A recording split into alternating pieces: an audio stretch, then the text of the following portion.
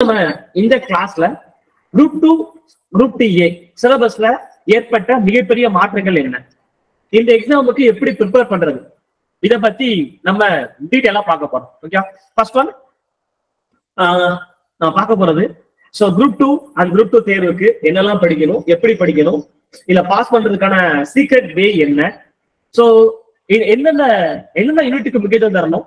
இது எந்த யூனிட்டுக்கு முக்கியத்துவம் தரக்கூடாது? நீங்க பாத்தீங்க அப்படின்னா ஸோ இதுதான் ஒரு டிசைனிங் ஃபேக்டரே நமக்கு வந்து எல்லாருமே படிப்பாங்க. பட் வந்து எந்த யூனிட்டுக்கு முக்கியத்துவம் தரணும் அப்படின்னு முக்கியத்துவம் கொடுக்காம படிப்பாங்க. ஸோ இதனால நமக்கு என்ன ஆயிடணும் அப்படின்னா ஒரு கம்மியான கொஸ்டின் கேட்கிற ஏரியாவில் நம்ம அதிகமா டயத்தை ஸ்பெண்ட் பண்ணிடுவோம். ஸோ அதுதான். ஆனா டிஎம்பிசி குரூப் டூ பொறுத்தவரை பார்த்தோம்னா இந்த வருஷம் ஒரு மிகப்பெரிய ஒரு மாற்றம். என்ன மாற்றம் அப்படின்னா மெயின்ஸே நீங்க என்ன பண்ணலாம்னா எழுத வேண்டாம் மெயின்ஸ் குரூப் டூ நான் இன்டர்வியூல பாத்தீங்க அப்படின்னா மல்டிபிள் சாய்ஸ் டைப் இருக்கு. அது என்ன நம்ம பார்க்க போறோம் குரூப் டூ தான் மெயின்ஸ் எழுதணும். Group two A non interview வந்து மல்டிபிள் சாய்ஸ் தான். ஸோ அது என்ன பேட்டர்னு எவ்வளவு மார்க்கு ஸோ பிலிமினரி எப்படி இருக்கும்? என்னென்ன சேஞ்சஸ் பண்ணியிருக்காங்க? எல்லாத்தையும் ஒன்றோட நம்ம பார்க்க போறோம். இதுல பாஸ் பண்றதுக்கான சீக்ரெட் டே என்ன அப்படிங்கிற பத்தி நம்ம சொல்றோம். பார்க்க போறோம். தொடர்ந்து கவனிச்சிட்டே வாங்க. ஸோ கடைசி வரைக்கும் நீங்க ஃபாலோ பண்ணுங்க. ஸோ அப்படின்னா தான் நமக்கு ஒரு ஐடியா கிடைக்கும். எப்படி படிக்கலாம்ன்ற ஒரு ஐடியா நமக்கு கிடைச்சிடும் உங்களுக்கு டவுட் இருந்தா நீங்க நாங்கள் எப்பனாலும் கேட்கலாம். ஓகே பார்க்கலாம். ஃபர்ஸ்ட் நம்மளுடைய group two and group two எக்ஸாமுக்கான notification நம்ம டிஎன்டி சார்பா அபிஷியல் நோட்டிபிகேஷன் வந்தாச்சு. அது வந்து பாத்தீங்கன்னா இருபது அதாவது இருபது ஆறு ரெண்டாயிரத்தி இருபத்தி நாலுல டிஎன்டி சார்பா அபிஷியலா நமக்கு வந்து நோட்டிபிகேஷன் அப்ளை பண்ணியாச்சு. பாத்தீங்க அப்படின்னா நம்ம அப்ளிகேஷன்ஸ் அப்ளை பண்ண வேண்டிய கடைசி டேட்டு ஸோ பத்தொன்பது ஏழு ரெண்டாயிரத்தி இருபத்தி நாலு. ஸோ பத்தொன்பது ஏழு ரெண்டாயிரத்தி இருபத்தி நாலு தான் நமக்கு லாஸ்ட் டேட்டு அப்ளை பண்ணி முடிக்கிறதுக்கான கடைசி டேட்டு அது மட்டும் இல்லாம ஸோ உங்களுக்கு அப்ளிகேஷன்ல ஏதாச்சும் வந்து கரெக்ஷன்ஸ் இருக்கு அப்படின்னா அதுக்கான விண்டோ இருபத்தி நாலாம் தேதியில இருந்து பாருங்க இருபத்தி நாலுல இருந்து இருபத்தி நாலு ஏழு ரெண்டாயிரத்தி இருபத்தி நாலுல இருந்து இருபத்தி ஆறு ஏழு ரெண்டாயிரத்தி இருபத்தி நாலு வரைக்கும் என்னென்ன கரெக்ஷன் இருக்கோ அதுக்கான விண்டோ ஸ்டார்ட் ஆகும். அதுக்கு அடுத்து டேட் ஆஃப் எக்ஸாம் ஸோ நம்ம எக்ஸாமினேஷன் கிட்டத்தட்ட வந்து பார்த்தீங்க அப்படின்னா நமக்கு எப்போ வைக்கிறாங்கன்னா பதினாலு ஒன்பது ரெண்டாயிரத்தி இருபத்தி நாலு. ஸோ பதினாலு ஒன்பது ரெண்டாயிரத்தி இருபத்தி நாலு நம்மளோட ரொம்ப இங்க முக்கியமான நாள். எப்படி நோட்டிபிகேஷன் வந்த? இருபது ஆறு ஸோ நோட்டிபிகேஷன் வந்த இருபது ஆறு ரெண்டாயிரத்தி இருபத்தி நாலும் நமக்கு முக்கியமான நாள் தான். அதே போல எக்ஸாம் எழுத போற எக்ஸாம் எழுத போற date of examination preliminary examination பத்தொன்பது பதினாலு ஒன்பது ரெண்டாயிரத்தி இருபத்தி நாலு ஸோ இதுவும் ஒரு முக்கியமான டேட் தான். யா இது டேட் நம்ம மறந்துடவே கூடாது. ஸோ இதுல என்ன அப்படின்னு நம்ம பார்த்தோம் அப்படின்னா மத்த போன ஆண்டு நடந்த குரூப் டூ தேர்வு. கடைசியா குரூப் எக்ஸாம் எப்ப நடந்துச்சு? யாராவது கடைசியா? கடைசியா குரூப் டூ எக்ஸாம் எப்ப நடந்துச்சு? ஸோ கடைசியா ரெண்டாயிரத்தி இருபத்தி ரெண்டுல கடைசியா குரூப் எக்ஸாம் நடந்துச்சு. ஸோ அதுக்கப்புறம் இந்த வருஷம் நம்ம என்ன பண்றாங்க? குரூப் எக்ஸாம் ரன் பண்றாங்க. இதுல ஒரு மிகப்பெரிய மாற்றம் என்னன்னா எந்த எக்ஸாமும் எக்ஸாம் நோட்டிபிகேஷன் போட்டதுல இருந்து நோட்டிபிகேஷன் வந்த டேட்ல இருந்து எக்ஸாம் வரைக்கும் குறைஞ்சபட்சம் வந்து பாத்தீங்க அப்படின்னா குறைஞ்சபட்சம் ஒரு தொண்ணூறு நாள் கொடுப்பாங்க. அதிகபட்சம் பார்த்தீங்கன்னா நூத்தி ஐம்பது நாள் குரூப் ஒர்க்லாம் தாராளமா இருந்துச்சு டைம் இருந்துச்சு. ஆனா குரூப் டூக்கு அப்படி இல்லை.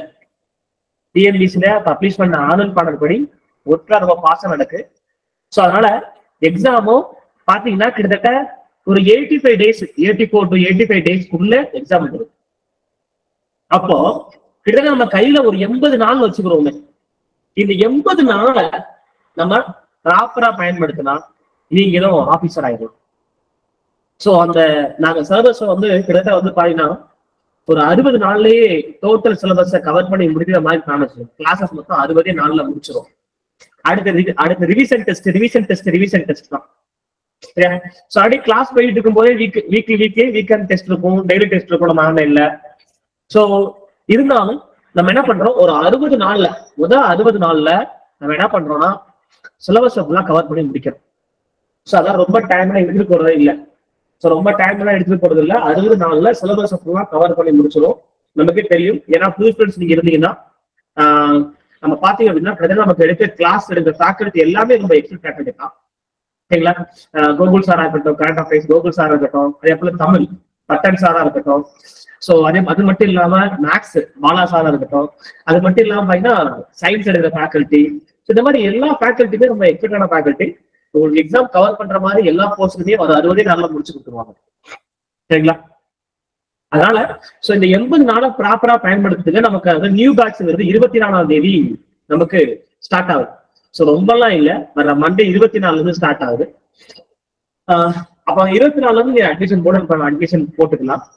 சரிக்கா நீங்க பார்க்கலாம் நெக்ஸ்ட் அப்ப நம்ம எக்ஸாம் டேட் ரொம்ப முக்கியம். சோ என்னைக்கு? பதினாலு ஒன்பது ரெண்டாயிரத்தி இருபத்தி நாலு எண்பதே நாலு தான் டைம் இருக்கு பிரிமினரிக்கு சோ இதுல என்ன ஒரு நமக்கு ஒரு லக்கு அப்படின்னா பிலிமினரில எடுக்கிற மார்க் வந்து மெயின்ஸ்ல எந்த விதத்துலயும் நமக்கு வந்து எங்கேயுமே ஆட் ஆகாது.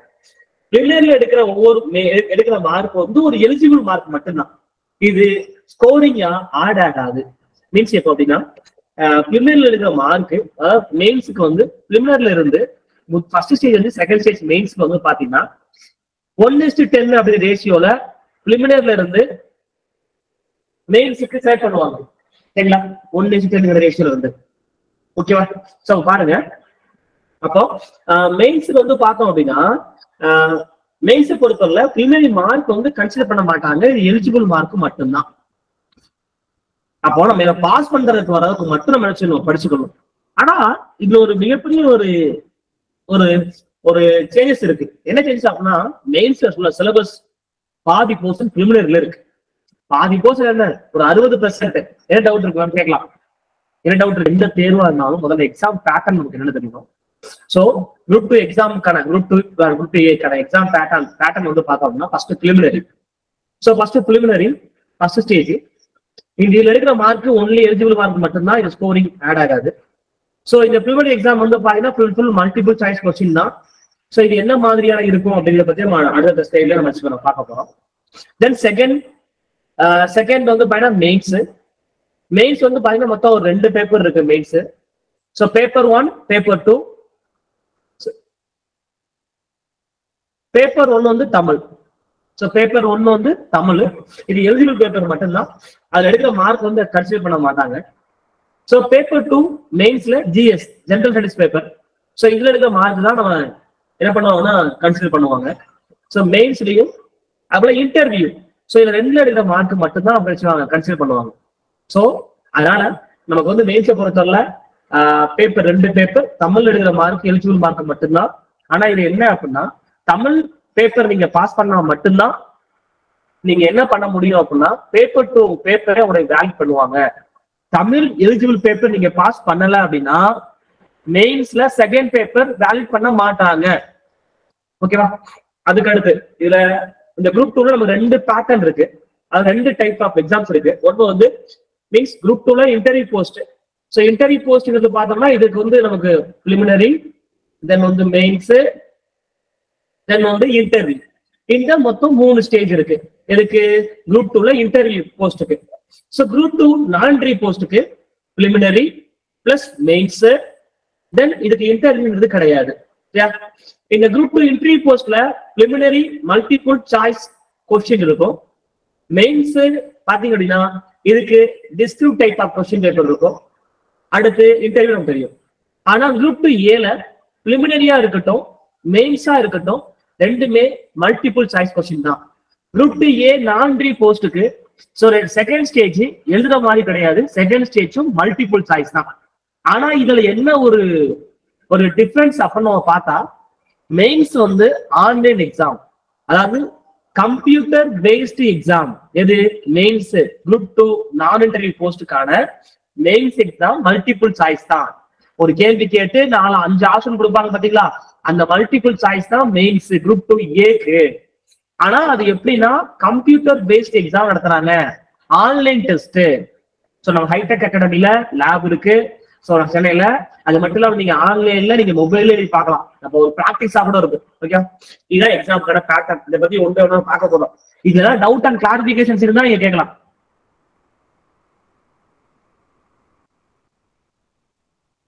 சார் குரூப் டூக்கு தனியா குரூப் டூ ஏக்கு தனியா அப்ளை பண்ணுவாங்க சார் இல்ல இல்ல நம்ம ஒரே எக்ஸாம் எடுக்கிற மார்க் வச்சு மட்டும்தான் நமக்கு வந்து பிடிக்கிறாங்க சார். டூ ஏல வந்து அந்த தமிழ் எலிஜிபிலிட்டியும் ஆப்ஜெக்டிவா கொடுப்பாங்களா? ஆமாம் ஆமாம் தமிழ் எலிஜிபிலிட்டி வந்து ஆல்ரெடி நமக்கு வந்து என்ன பேட்டர்ன் குரூப் டூல இருக்கோ மெயின்ஸ் குரூப் டூ மெயின்ஸ் என்ன பேட்டர்ன் இருக்கோ அதே பேட்டர்ன் தான் இருக்கும். அந்த மல்டிபிள் சாய்ஸ் கிடையாது. லெட்டர் ரைட்டிங் இதெல்லாம் நம்ம எழுதி தான் காமிக்கணும். ஆமா ஆமா அந்த தமிழ் எலிஜிபிள் அப்படிங்கிறது காமன் தான் மேம் ஓகே. அந்த குரூப் டூக்கும் குரூப் டூ ஏக்கும் தமிழ் எலிஜிபிள்ங்கிறது காமனா வைப்பாங்க.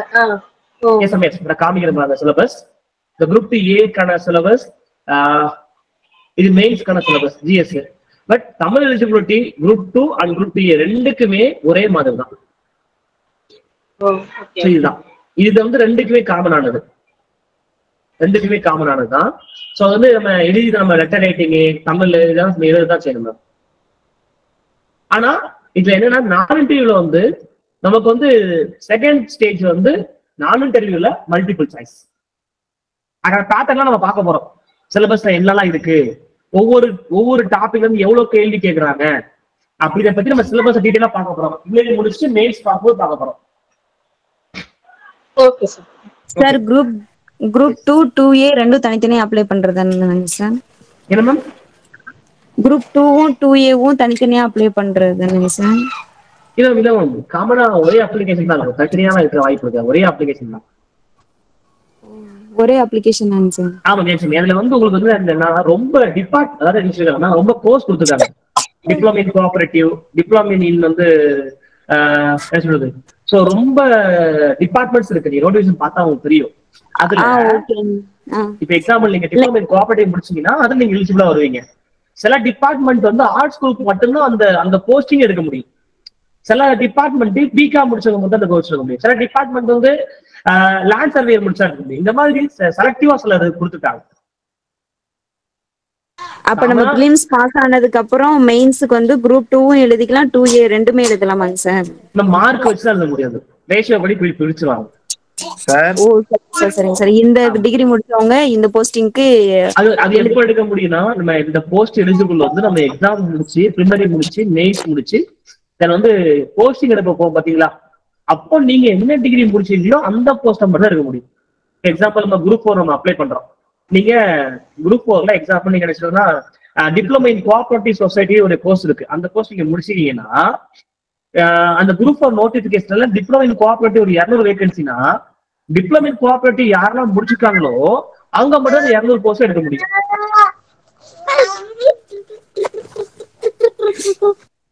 ஓகேங்க சார் ஓகே ஓகே ஓகே சரி. சோ இதுதான் எக்ஸாம் பேட்டர்ன் மெயின்ஸை பத்தி எல்லாம் நம்ம அடுத்தடுத்து நம்ம உண்மை ஒன்றா பார்க்கலாம். ஃபர்ஸ்ட் ப்ரிலிமினரியை பத்தி நம்ம டீட்டெயிலாக பார்க்கலாம். ப்ரிலிமினரி பாஸ் பண்ணா தான் மெயின்ஸ் வர முடியும். ஸோ எண்பது நாள்ல ப்ரிலிமினரி பாஸ் பண்றது ஒரு பெரிய விஷயம்லாம் இல்லை. ஏன்னா ஆல்ரெடி எல்லாருமே குரூப் ஒர்க் படிச்சிருப்பீங்க. ஸோ அதே சேர்த்து தான் கொஞ்சம் எக்ஸ்ட்ரா படிக்க போறோம். இதுல என்ன ஒரு டிஃப்ரெண்ட்னா குரூப் ஒர்க் இருக்கும் ஜிஎஸ் வந்து ரொம்ப டிகிரி ஸ்டாண்டர்ட் இதுல. அதான் முக்கியமா நம்ம பார்க்க வேண்டியது.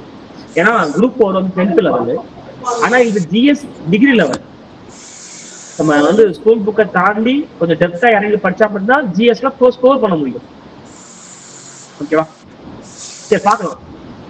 இது குரூப் டூ ப்ரிலிமினரிக்கான பேட்டர்ன் இதுதான் next so group exam pattern preliminary exam நம்ம எடுத்துட்டோம்னா ப்ரிலிமினரி எக்ஸாம் பொறுத்தவரை பார்த்தோம் அப்படின்னா நமக்கு ஒரு முந்நூறு முந்நூறு மார்க் கிட்டத்தட்ட முந்நூறு மார்க் பார்த்தீங்கன்னா ஒரு இரநூறு கொஸ்டின் இரநூறு கொஸ்டின் கேட்குறாங்க ஸோ மொத்தம் முந்நூறு மார்க் இதை பற்றி நம்ம பார்க்க போகிறோம் அடுத்த ஸ்லைட்ல அடுத்து மெயின்ஸ் எக்ஸாம் பேப்பர் ஒன்று வந்து பார்த்தீங்க அப்படின்னா பேப்பர் ஒன்று வந்து நூறு நூறு கொஸ்டின் நூறு சாரி நூறு மார்க்கு அவன் பேப்பர் டூ வந்து ஒரு முந்நூறு மார்க்கு பிளஸ் ஒரு இன்டர்வியூக்கு ஒரு நாற்பது மார்க் சரியா?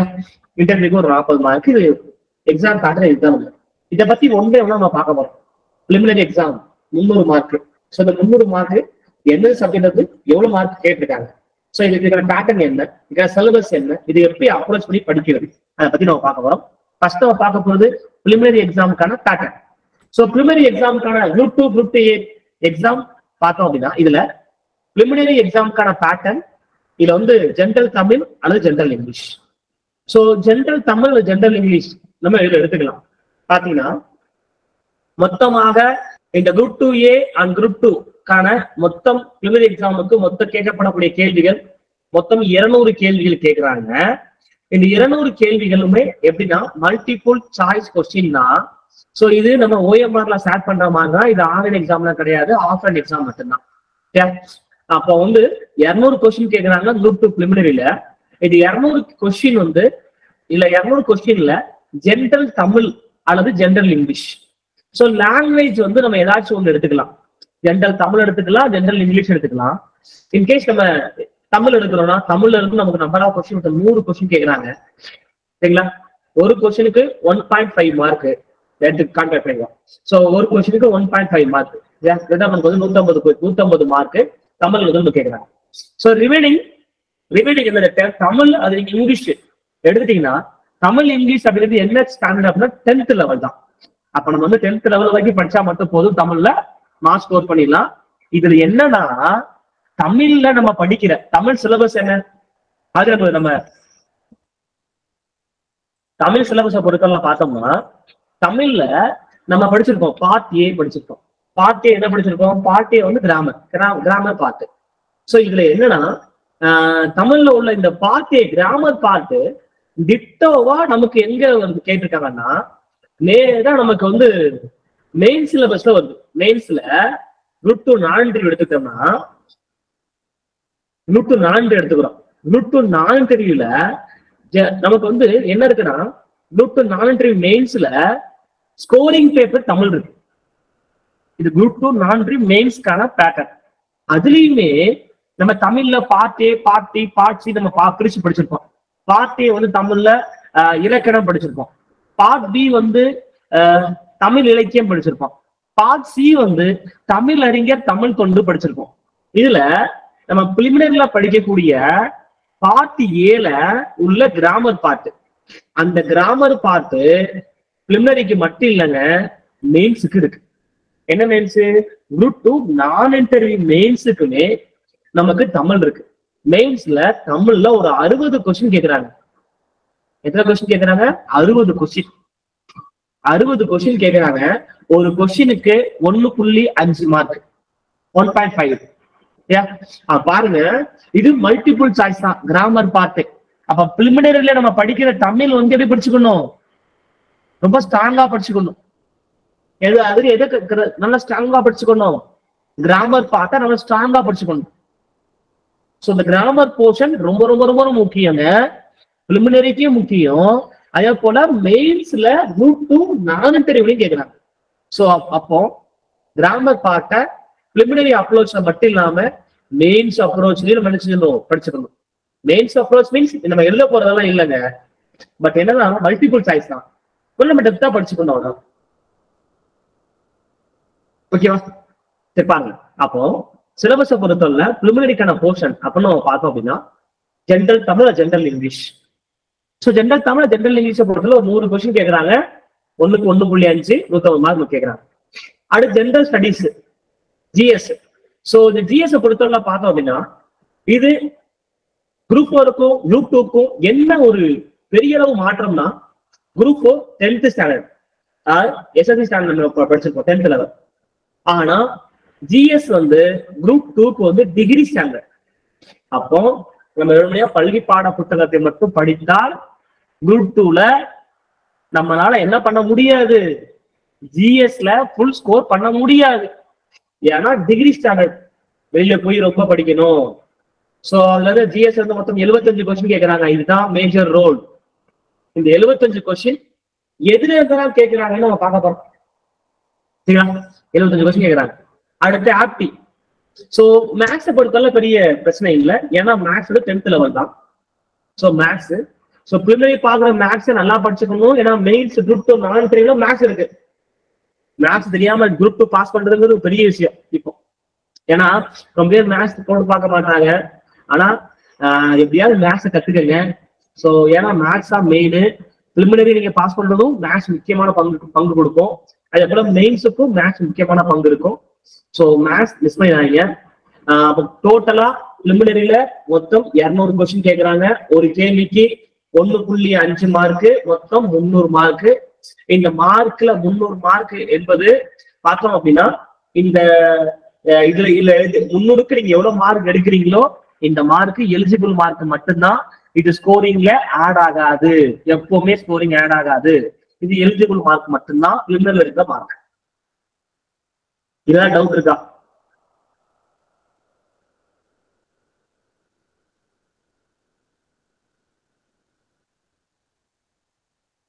சரி ஓகே நெக்ஸ்ட் பார்க்கலாமா அப்போ?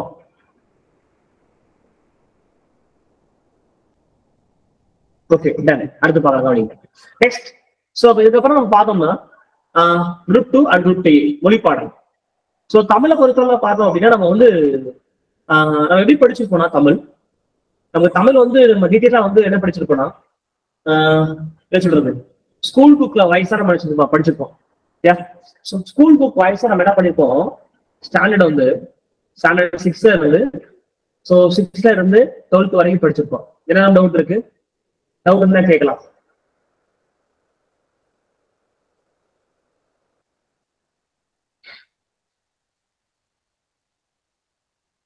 டவுட் இருக்கா?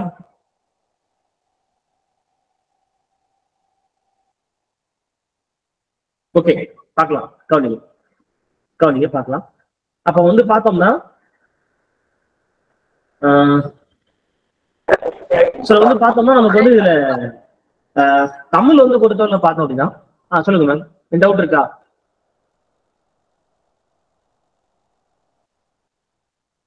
ஓகே ஸோ தமிழை பொறுத்தவரை நம்ம எப்படி படிச்சிருப்போம்னா சிக்ஸ்த்ல இருந்து டுவெல்த் வரைக்கும் ஸ்கூல் புக் மட்டும் நம்ம பார்த்துருப்போம்.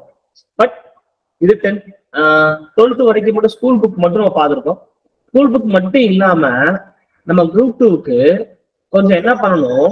தமிழை ஸோ இந்த அப்ரோச்லயும் பார்த்துக்கணும். சிலபஸ் அப்ரோச்ல பார்ட் ஏ அதே போல பார்ட் பி அதே போல பார்ட் சி ஸோ இந்த நம்ம சிலபஸ் அப்ரோச்லயும் நம்ம தமிழை படிச்சுக்கணும். ஸ்கூல் புக்ல உள்ளது மட்டும் படிக்காம சிலபஸ் அப்ரோச் நம்ம என்ன பண்ணணும்? படிச்சுக்கணும்.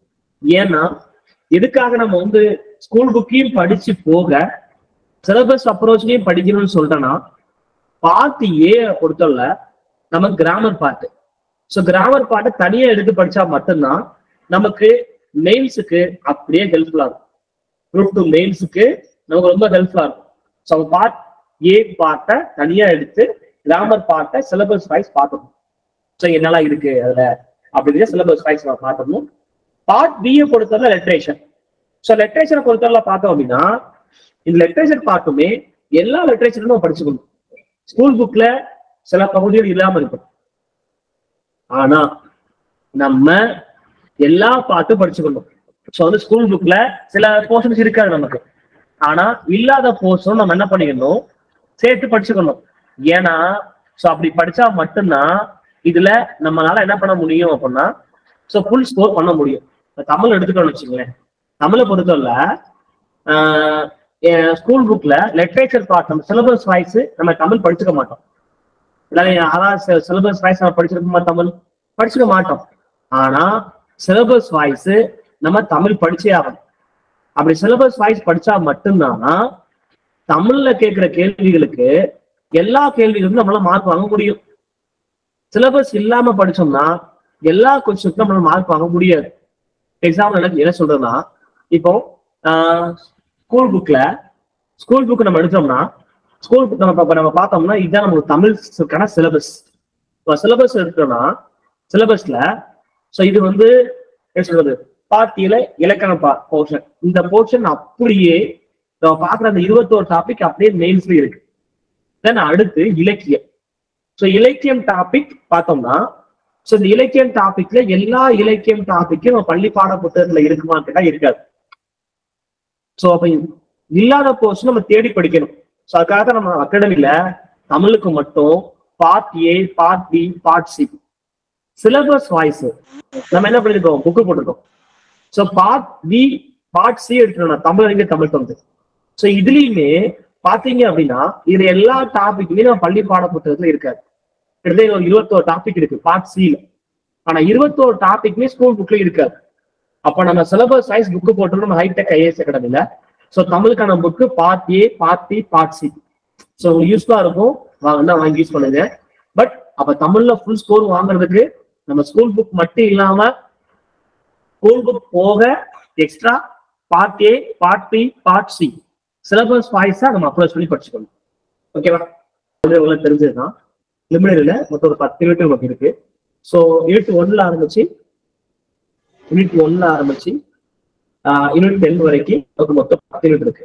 ஸோ இந்த பத்து யூனிட் தான் ஆஹ் நமக்கு லிமிடெட்ல அதாவது நமக்கு தமிழ்ல தமிழ்ல வந்து பாத்தீங்க அப்படின்னா நீங்க வந்து என்ன சொல்றது? ஃபுல் மார்க் நம்ம வாங்கிடலாம். மீன்ஸ் லாங்குவேஜ் மட்டும் நம்ம படித்தாலே ஈஸியா மார்க் வாங்கிடலாம். ஆனா நமக்கு வந்து பார்த்தோம் அப்படின்னா இந்த ஜிஎஸ் போர்ஷன் தான் முக்கியம். ஜிஎஸ் பொறுத்தெல்லாம் மொத்தம் நமக்கு எவ்வளவு கொஸ்டின் கேட்கறாங்கன்னா ஜிஎஸ்ல ஒரு செவன்டி ஃபைவ் கொஸ்டின் நம்ம கேக்குறாங்க. லாங்குவேஜ் மட்டும். தமிழ் ஆர் இங்கிலீஷ்ல மட்டும் நமக்கு நூறு question general Tamil or general English எடுத்துக்கலாம். ஒரு நூறு கொஸ்டின் கேட்கறாங்க ஆனா ஜென்ரல் ஸ்டடிஸ்ல ஜிஎஸ்ல நமக்கு எவ்வளவு கொஸ்டின் கேக்குறாங்கன்னா எழுபத்தஞ்சு கொஸ்டின் இந்த எழுபத்தஞ்சு கொஸ்டின் ரொம்ப ரொம்ப ஒரு முக்கியமான ஒரு டிசைனை காக்க தென் ஒரு இருபத்தஞ்சு கொஸ்டின் நமக்கு என்ன ஆகும்னா மேக்ஸ் இந்த செவன்டி ஃபைவ் கொஸ்டினுக்கு நமக்கு தேவை செவன்டி ஃபைவ் கொஸ்டின் நம்ம அட்டன் பண்றதுக்கு பத்து யூனிட் கவர் பண்ணணும் ஆனா பத்து யூனிட்ல வந்து ஈக்குவல் வெயிட்டேஜ் கொடுத்து கொஸ்டின் கேட்கிறாங்க கேட்டா இல்ல. எக்ஸாம்பிள் வந்து பாத்தீங்கன்னா இந்த வெயிட்டேஜ் இது தெரிஞ்சா மட்டும்தான் நம்ம அந்த சப்ஜெக்டுக்கு முக்கியத்துவம் வந்து படிக்க முடியும். ஏன்னா பிலிமினரியில் எடுக்கிற மார்க்கு எலிஜிபிள் மார்க் மட்டும்தான். ஸ்கோரிங் கிடையாது. ஸோ அதனால செலக்டிவான யூனிட்டை மட்டும் படிச்சு சிம்பிளா பாஸ் ஆயிடும். எக்ஸாம்பிள் இத முதல்ல நம்ம படிக்க வேண்டியது. எதுன்னு பார்த்தா ஹிஸ்டரி போர்ஷன் ஸோ வரலாறு. ஸோ ஹிஸ்டரியை பொறுத்தவரை பார்த்தோம்னா நமக்கு நம்ம கொடுக்கப்பட்ட சிலபஸ்ல ஹிஸ்டரி மட்டும் ஒரு மூணு யூனிட் நமக்கு கவர் ஆகுது. அதாவது யூனிட் ஃபோர் அதே மாதிரி யூனிட் எயிட் யூனிட் செவன் இந்த மூணு யூனிட்ல நமக்கு என்ன கவர் ஆகுது? ஹிஸ்டரி கவர் ஆகுது. Unit four history and culture of India இந்த யூனிட் யூனிட் எயிட் பாத்தீங்க அப்படின்னா தமிழ்நாடு வரலாறு மற்றும் பண்பாடு மற்றும் சமூக அரசியல் இயக்கங்கள். Unit seven Indian national movement இது வந்து பாத்தீங்க அப்படின்னா டோட்டலா விற்கிறது மட்டும். ரெண்டாயிரத்தி இருபத்தி ரெண்டு லாஸ்டா நடந்த டிஎன்பிஎஸ்சி குரூப் டூ தேர்வுல நமக்கு எவ்வளவு கொஸ்டின் கேட்டிருக்காங்கன்னா இந்த கிறிஸ்டியன் கல்ச்சர் ஆஃப் இந்தியா அந்த டாபிக் வந்து மட்டும் கிட்டத்தட்ட ஒரு ஏழு கொஸ்டின் கேட்டிருக்காங்க. History and culture of India ஒரு ஏழு கொஸ்டின் அப்ப அந்த history and culture of India பார்க்கலாம். அப்ப ஓவரால் நீங்க பாருங்க. ஓவரால் நம்ம ஹிஸ்டரியை மட்டும் படிச்சாலே நம்ம இருபத்தெட்டு கொஸ்டின் அட்டன் பண்ணிக்கலாம் இது கொஸ்டின் பேப்பர்ல கேட்ட கவுண்ட்டுங்க நீங்க கொஸ்டின் பேப்பர்ல இருந்து எடுத்து எடுத்து கவுண்ட் பண்ணி பாருங்க. அப்படி இருக்கு. இருபத்தெட்டு கேள்வி அப்ப எழுபத்தஞ்சு கொஸ்டின் ஜிஎஸ்ல இருபத்தெட்டு கொஸ்டின் நமக்கு எழுபத்து மட்டுமே வந்துருது. ஹிஸ்டரி போர்ஷன் வந்து மட்டுமே வந்துருது. அப்போ ஹிஸ்டரி போர்ஷனை டீட்டெயிலா நம்ம படிச்சுக்கணும். இதுல ஃபர்ஸ்ட் நம்ம ஃபர்ஸ்ட் நம்ம பார்க்க போறது unit four unit four history and culture of India இந்திய வரலாறு வச்சு பண்பாடு. அப்ப நம்ம எடுத்துட்டோம்னா சோ இந்திய வரலாறு மற்றும் பண்பாடு இந்த டாபிக்ல எப்போதுமே சோ இதுல எதனால கொஸ்டின் கொஸ்டின் கேட்பாங்கன்னா சிலபஸ் இதுதான்.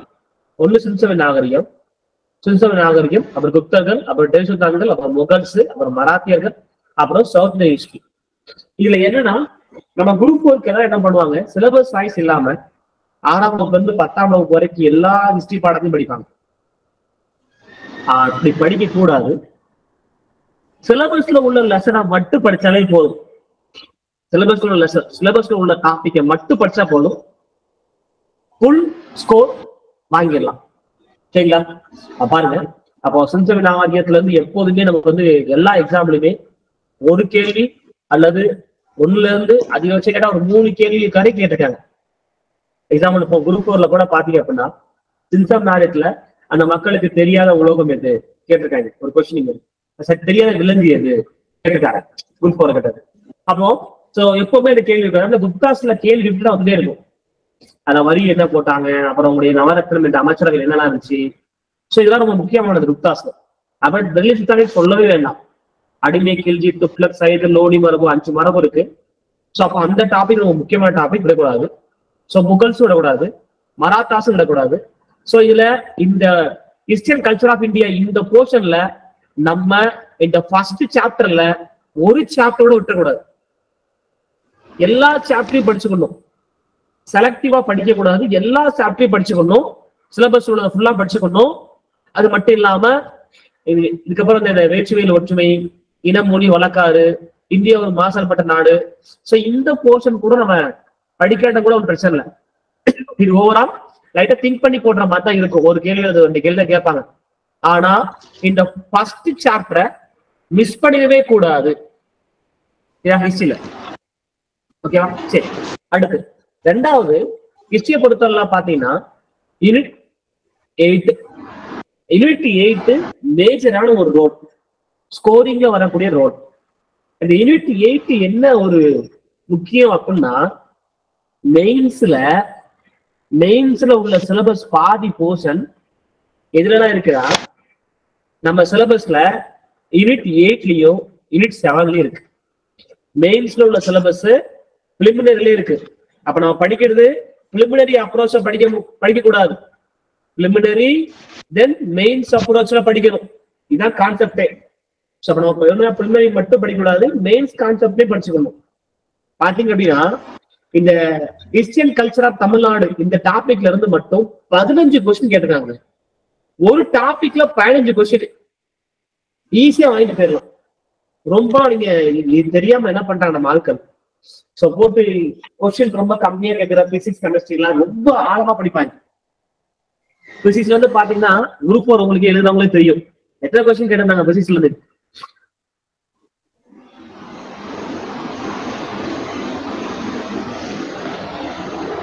குரூப் வந்து எத்தனை கொஸ்டின் கேட்டிருந்தோம் யாராச்சும் அனலைஸ் பண்ணீங்களா? குரூப் ஃபோர் எக்ஸாம் முடிச்சு யார் யாரெல்லாம் எழுதுனா?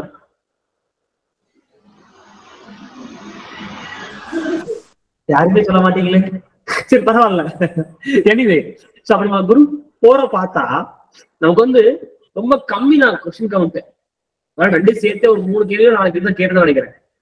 அப்போ பார்த்தோம்னா சோ ஆனா அந்த ஒரு டாபிக் படிச்சா பதினஞ்சு கொஸ்டின் இந்த பதினஞ்சு கொஸ்டின் அப்படியே மெயின்ஸ்ல வருதுங்க.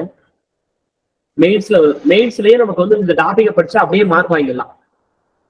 அதே போல ஐஎன்எம் இந்தியன் நேஷனல் மூவ்மெண்ட்ல வந்து ஒரு ஆறு கொஸ்டின் இந்தியன் நேஷனல் மூவ்மெண்ட்ல வந்து ஒரு ஆறு கொஸ்டின் கேட்டிருக்காங்க. ரெண்டாயிரத்தி இருபத்தி ரெண்டு TNPSC group two group D தேர்வுல கேட்கப்பட்ட கொஸ்டின் பேப்பர் அனலைஸ் இது. ஏன்னா நம்ம எக்ஸாம் படிக்க முன்னால நம்ம கையில என்னெல்லாம் வேணும் முதல்ல சிலபஸ் வேணும். ரெண்டாவது previous year question paper analyse பண்ணணும். Previous year question paper analyse பண்ணா மட்டும்தான் நமக்கு அது என்ன என்ன தெரியும் அப்படின்னா ஒண்ணு எந்தெந்த எந்தெந்த டாபிக்ல இருந்து எத்தனை கொஸ்டின் கேட்டாங்கன்னு தெரிய வரும் ஒண்ணு. ரெண்டாவது என்னென்ன டைப்ல கொஸ்டின் இருக்கு அப்படின்னு தெரிய வரும். சோ எப்பவுமே நம்ம என்ன பண்ணணும் ப்ரீவியஸ் இயர் கொஸ்டின் பேப்பரை பார்த்துட்டு தான் படிக்கவே உட்காரணும். கையில சிலபஸ் வேணும் ரெண்டாவது ப்ரீவியஸ் இயர் கொஸ்டின் பேப்பரை பார்த்துட்டோம் பார்த்துட்டு அதுக்கப்புறம் ப்ரிப்பேர் பண்ணி ஸ்டார்ட் பண்ணுவோம் ஸோ அதான் நான் என்ன பண்ணிருக்கேன் உங்களுக்கு ப்ரீவியஸ் இயர்ல ரெண்டாயிரத்தி இருபத்தி ரெண்டுல குரூப்ல கேட்ட கொஸ்டின் தான் போடுறேன் ஸோ இந்த ஐஎன்எம்ல உள்ள டாபிக் அப்படியே மெயின்ஸ் இருக்குங்க. அதே எயிட்ல உள்ள டாபிக் அப்படியே மெயின்ஸ் இருக்குங்க. அப்ப ஹிஸ்டரி நீங்க பிலிமினரில படிக்கிற ஹிஸ்டரி வந்து பிலிமினரி பாஸ் பண்றதுக்கு மட்டும் இல்ல மெயின்ஸுக்கும் சேர்த்துதான் கர்நாடக போரு மைசூர் போரு இதெல்லாம் மெயின்ஸ் இருக்கு. குரூப் டூ அதாவது இன்டர்வியூ போஸ்ட் மெயின்ஸும் இருக்கு நான் போஸ்ட் மெயின்ஸும் இருக்கு. கர்நாடக போர் மைசூர் போர் பிளாஸ்டிக் போர் பக்சார் போர் ஆங்கில ஆட்சிக்கு எதிராக தொடக்க கால கிளர்ச்சிகள் குடித்தவனை பத்தி கட்டத்தமனை பத்தி வேலுநாச்சியரை பத்தி. சோ இந்த இது எல்லாமே லிமினரிலையும் இருக்கு. இது எல்லாமே மெயின்ஸ்லயும் இருக்கு. பாருங்க. அப்போ நம்ம வெறுமனையா ப்ரிலிமினரி கான்செப்ட்ல மட்டும் இல்ல மெயின்ஸ் கான்செப்ட்லயும் படிச்சுக்கணும் ஓகேவா டவுட் இருக்கா? இப்போ ஃபர்ஸ்ட் நம்ம யூனிட் போற மட்டும் பார்த்தோமா? எதனா படிக்கணும் அப்படின்னு பார்த்தோமா? அடுத்து நான் நெக்ஸ்ட் பார்க்க போறது. அடுத்து unit seven so unit seven எடுத்தோம்னா ஃபுல் அண்ட் ஃபுல் ஐஎன்எம் தான். ஸோ இந்தியன் நேஷனல் மூவ்மெண்ட் இந்த இந்தியன் நேஷனல் மூவ்மெண்ட்ல ஏ டு இசட் எல்லாத்தையும் படிச்சுக்கணும். இதுல என்னன்னா எல்லாருமே இந்த நேஷனல் லீடர்ஸ் எல்லாம் விட்டுருவாங்க. ஸோ நேஷனல் லீடர் ஸ்கூல் புக்ல இல்லாத லீடர்ஸ் இருப்பாங்க. அம்பேத்கர் பகத்சிங் பாரதியார் வாவு சிதம்பரனாரு. ஸோ இந்த மாதிரி நேஷனல் லீடர்ஸ் ஒரு பதினோரு பேர் கொடுத்துருக்காங்க. இந்த பதினோரு நேஷனல் லீடர்ஸ நான் படிச்சுக்கணும். ஸோ நீங்க இது இல்லாததுல கூட நீங்க நோட்ஸ் இல்லாததுல கூட நம்ம ஹைடெக் ஐஏஎஸ் அகாடமி யூடியூப் சேனல்ல ஒவ்வொரு நேஷனல் லீடரை பத்தி டீட்டெயிலா போட்டிருக்கோம். அந்த வீடியோ பார்த்து நீங்க யோசிட்டாலும் ஓகே தான். ஓகே அப்ப ஐஎன்எம்ல இருந்து நமக்கு எவ்வளவு கொஸ்டின் கேக்குறாங்க? அப்படின்னா இந்தியன் நேஷனல் மூவ்மெண்ட்ல இருந்து நமக்கு எவ்வளவு கொஸ்டின் கேக்குறாங்க? ஒரு ஆறு கொஸ்டின் கேக்குறாங்க. ஆனா அந்த கேட்கிற ஆறு கொஸ்டின் பிலிமினரிக்கு மட்டும் கிடையாது. பிலிமினரி தாண்டி மெயின்ஸையும் தாண்டி நமக்கு இன்டர்வியூ இருந்துச்சுன்னா இன்டர்வியூ நமக்கு கன்சிடர் ஹெல்ப்ஃபுல்லா இருக்கும். ஐஎன்எம் ஸோ அதுக்கப்புறம் then unit eight sir sir ஒரு டவுட் சார் ஆ சொல்லுங்க சார் சார் இதுல மற்றும் பலர்னு இருக்குல்ல? ஆமா. அந்த national leaders yes sir yes sir yes so அந்த அந்த மற்றும் பலர்ன்றது யார் யார் இன்க்ளூட் ஆவாங்க அப்படின்ட்டு ஏதாவது? மற்றும் பலருங்கிறது நம்ம டிசைட் பண்ணி சொல்ல முடியாது. வேணா இது ஒரு சின்ன கான்செப்ட் எடுத்துக்கலாம். என்ன எடுத்துக்கலாம்னா ஸ்கூல் புக்ல என்னென்ன லீடர்ஸ் இருக்காங்களோ அதை சைடு படிச்சுக்கலாம் இந்த மற்றும். பலர்ல யாருக்கும் நம்ம டிசைட் பண்ணி சொல்ல முடியாது. அவன் போட்டு முடிச்சிருக்கான். நீங்க ப்ரிப்பேர் பண்ணணும் அப்படி விருப்பப்பட்டீங்கன்னா ஸ்கூல் புக்ல சிக்ஸ்த் டுவெல்த்ல ஹிஸ்டரி போர்ஷன்ல சோ நம்ம இதுல இல்லாத நேஷனல் லீடர்ஸ் யாராவது இருந்தாங்க மயிலே சின்ன தம்பி ராசன் எம்சி ராஜா இருக்காரு. படிச்சுக்க வேண்டியதான் சிங்காரா ம். இருக்காரு? படிச்சுக்க ஓகே வேண்டியதான் அயோத்தாச பண்ணிட்டு இருக்காரு. படிச்சுக்கிற வேண்டியதான் சோ இதுதான் அந்த மற்றும் நம்ம படிக்க வேண்டியது. Okay sir okay sir okay sir okay வேற டவுட் இருக்கா? இருந்தா கேட்கலாம். செவன்ல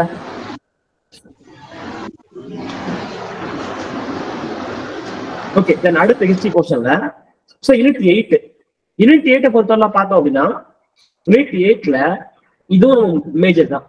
ஏன்னா இதுல யூனிட் எயிட்ல நம்ம படிக்கக்கூடிய இந்த போர்ஷன் மீன்ஸ் என்ன சொல்றது? ஸோ தமிழ் சமுதாய வரலாறு அது தொடர்பான தொல்லியல் கண்டுபிடிப்புகள். இது ரொம்ப முக்கியமான ஒண்ணுங்க. ஸோ இது மெயின்ஸுக்கும் வருது. வங்காளம் முதல் இக்காலம் வரை தமிழ் இலக்கிய வரலாம் இது நான் படிச்சுக்கணும் அதே போல திருக்குறள் ரொம்ப முக்கியம். திருக்குறள் புல்வெளிக்கு மட்டும் கிடையாது. மெயின்ஸுக்கும் கேள்வி கேட்குறாங்க ஸோ அப்போ திருக்குறள் எப்படி படிக்கிறதுனா நம்ம டாபிக் வைஸ் இல்லாட்டிலும் கூட ஸ்கூல் புக்ல சிக்ஸ்த் டென்த் வரைக்கும் உள்ள திருக்குறள் போர்ஷன் ஃபுல்லா நம்ம பா- பார்த்துக்கணும். ஸோ அப்போ திருக்குறள் வந்து ரொம்ப முக்கியமான மேஜர் பார்ட் தமிழ் படிக்கும்போது சேர்த்தே படிச்சுக்கலாம். அடுத்து இந்த பார்ட் அது இந்த யூனிட் எயிட்ல தேர்ட் சாப்டரும் fourth சாப்டரும் history portion history chapter so அப்போ இந்த சாப்டர்ல பார்த்தீங்க அப்படின்னா நமக்கு கேட்கப்படக்கூடிய கொஸ்டின்ஸ் வந்து பார்த்தீங்க அப்படின்னா இது பிரிமரிக்கு மட்டும் கிடையாது. இந்த டாபிக் நம்ம டெப்தா படிச்சுட்டோம்னா மெயின்ஸுக்கு சிலபஸ்லையும் இது இருக்கு. ஸோ அப்போ இந்த ஹிஸ்டரி போர்ஷன் ஃபுல்லா மெயின்ஸ் வச்சு நம்ம படிச்சுக்கிறது நல்லது. ஓகே அப்போ ஓவரால் நம்ம மூணு டாப் மூணு யூனிட்ல ஹிஸ்டரி கவர் ஆகுது. எதெல்லாம் அப்படின்னா unit four unit eight unit seven unit ஃபோர்ல ஒரு ஏழு கொஸ்டின் கேட்டிருக்காங்க. யூனிட் எயிட்ல ஒரு பதினஞ்சு கொஸ்டின் கேட்டிருக்காங்க. யூனிட் செவன்ல ஒரு ஆறு கொஸ்டின் கேட்டிருக்காங்க. ஓவரால் இந்த ஹிஸ்டரி போர்ஷன்ல இருந்து மட்டும் ஏதோ ஒரு இருபத்தெட்டு கொஸ்டின் கேட்டிருக்காங்க. மேஜர் ரோல் இதுதான் பண்ண போகுது. ஸோ நல்லா படிச்சுங்க ஹிஸ்டரியில் ஒவ்வொரு டாப்பையும் நல்லா படிச்சுங்க ஓகே ஸோ வரலாறு ஒரு முக்கியம். ஃபர்ஸ்ட் நீங்க சிலபஸ் வைஸ் படிக்கும் போது முதல்ல ப்ரிஃபரன்ஸ் பண்ணி கொடுத்து படிக்க வேண்டிய முதல் சப்ஜெக்ட் ஹிஸ்டரி நெக்ஸ்ட் அடுத்ததாக சோ ரெண்டாவது நம்ம முக்கியத்துவமாக கொடுத்து படிக்க வேண்டிய சப்ஜெக்ட் இந்தியன் பாலிட்டி ஸோ ரொம்ப எளிமையான பகுதி இந்தியன் பாலிட்டி ஸோ அதிகமான மார்க்கு இதுல வரும். ஸோ எளிமையான பகுதி ஏராளமான மதிப்பெண்கள் இந்திய அரசியலமைப்பு. ஸோ இந்திய அரசியலமைப்பு எடுத்துட்டோம் அப்படின்னா கிட்டத்தட்ட ரெண்டாயிரத்தி இருபத்தி ரெண்டாம் ஆண்டு நடைபெற்ற group two group two A question பேப்பர்ல பாலிட்டியில இருந்து மட்டும் நமக்கு பதிமூணு கொஸ்டின் கேட்டிருக்காங்க. ரெண்டாயிரத்தி இருபத்தி ரெண்டுல நடந்த கடைசி நடந்த குரூப் தேர்வுல எவ்வளவு கொஸ்டின் கேட்டிருக்காங்க? பதிமூணு கொஸ்டின் பாருங்க. ஒரு டாபிக்ல மொத்த கொஸ்டின் செவன்டி ஃபைவ் தான் ஜிஎஸ்ல செவன்டி ஃபைவ்ல பாருங்க ஒரு பதிமூணு கொஸ்டின் நமக்கு வந்து பாலிட்டில மட்டும் கேட்கிறோம் ஸோ பாலிட்டி நம்ம எப்படி ப்ரிப்பேர் பண்ணணும்னா பாலிட்டி வந்து நமக்கு முதல்ல ஸ்டாண்டர்ட் ஸ்டாண்டர்ட் சிக்ஸ்ல இருந்து ஸ்டாண்டர்ட் டென்த் வரைக்கும் ஸ்கூல் புக்ல சிவிக்ஸ் போர்ஷன் ஃபுல்லா கவர் பண்ணணும். குடிமியல் பகுதி. இந்த குடிமையல் பகுதியை கூட நம்ம ஒரு பாடம் விடாம எல்லா பாடத்தையும் படிச்சிடணும். ஸ்கூல் புக்ல ஸோ முடிச்சதுக்கு அப்புறம் பாலிட்டிய டாபிக் வைஸ் படிக்கணும். ஸோ இந்திய அரசியலமைப்புனா என்ன? அப்புறம் இந்திய அரசியலமைப்புல பிரியாம்புல்னா என்ன? அப்புறம் ஃபண்டமெண்டல் ரைட்ஸ் ரொம்ப ரொம்ப முக்கியமான டாபிக் எப்பவும் கேள்வி எழுது டாபிக் ஃபண்டமெண்டல் ரைட்ஸ் எல்லாம் ஃபண்டமெண்டல் ரைட்ஸ் அடிப்படை உரிமைனா என்ன? டிபிஎஸ்பி அடிப்படை அது ஃபண்டமெண்டல் டியூட்டிஸ்னா என்ன? அரசு நெறிமுறை கோட்பாடு டிபிஎஸ்பினா என்ன? பார்லிமெண்ட்டை பத்தி சட்டமன்றத்தை பத்தி ஸோ மத்திய மாநில உறவுகளை பத்தி. ஸோ இதெல்லாம் டீட்டெயிலா படிச்சுக்கணும் ஏன் சொல்றேன் அப்படின்னா இந்தியன் பாலிட்டி பிலிமினரிக்கு மட்டும் கிடையாது. பிலிமினரியும் தாண்டி மெயின்ஸ்க்கான போர்ஷன்லயுமே நமக்கு பாலிட்டி இருக்கு. ஸோ அதனால பாலிட்டியில டீட்டெயிலா படிச்சுக்கணும் எக்ஸாம்பிள் கேட்பாங்க. சொல்றேன். ஊழல் பத்தி பார்த்தோம் அப்படின்னா இதுல எப்பவுமே கேள்வி கேட்பாங்க மெயின்ஸ்ல ஊழல் மற்றும் ஊழல் தடுப்பதற்கான ஆணையங்கள் என்ன? கேள்வி கேட்பாங்க.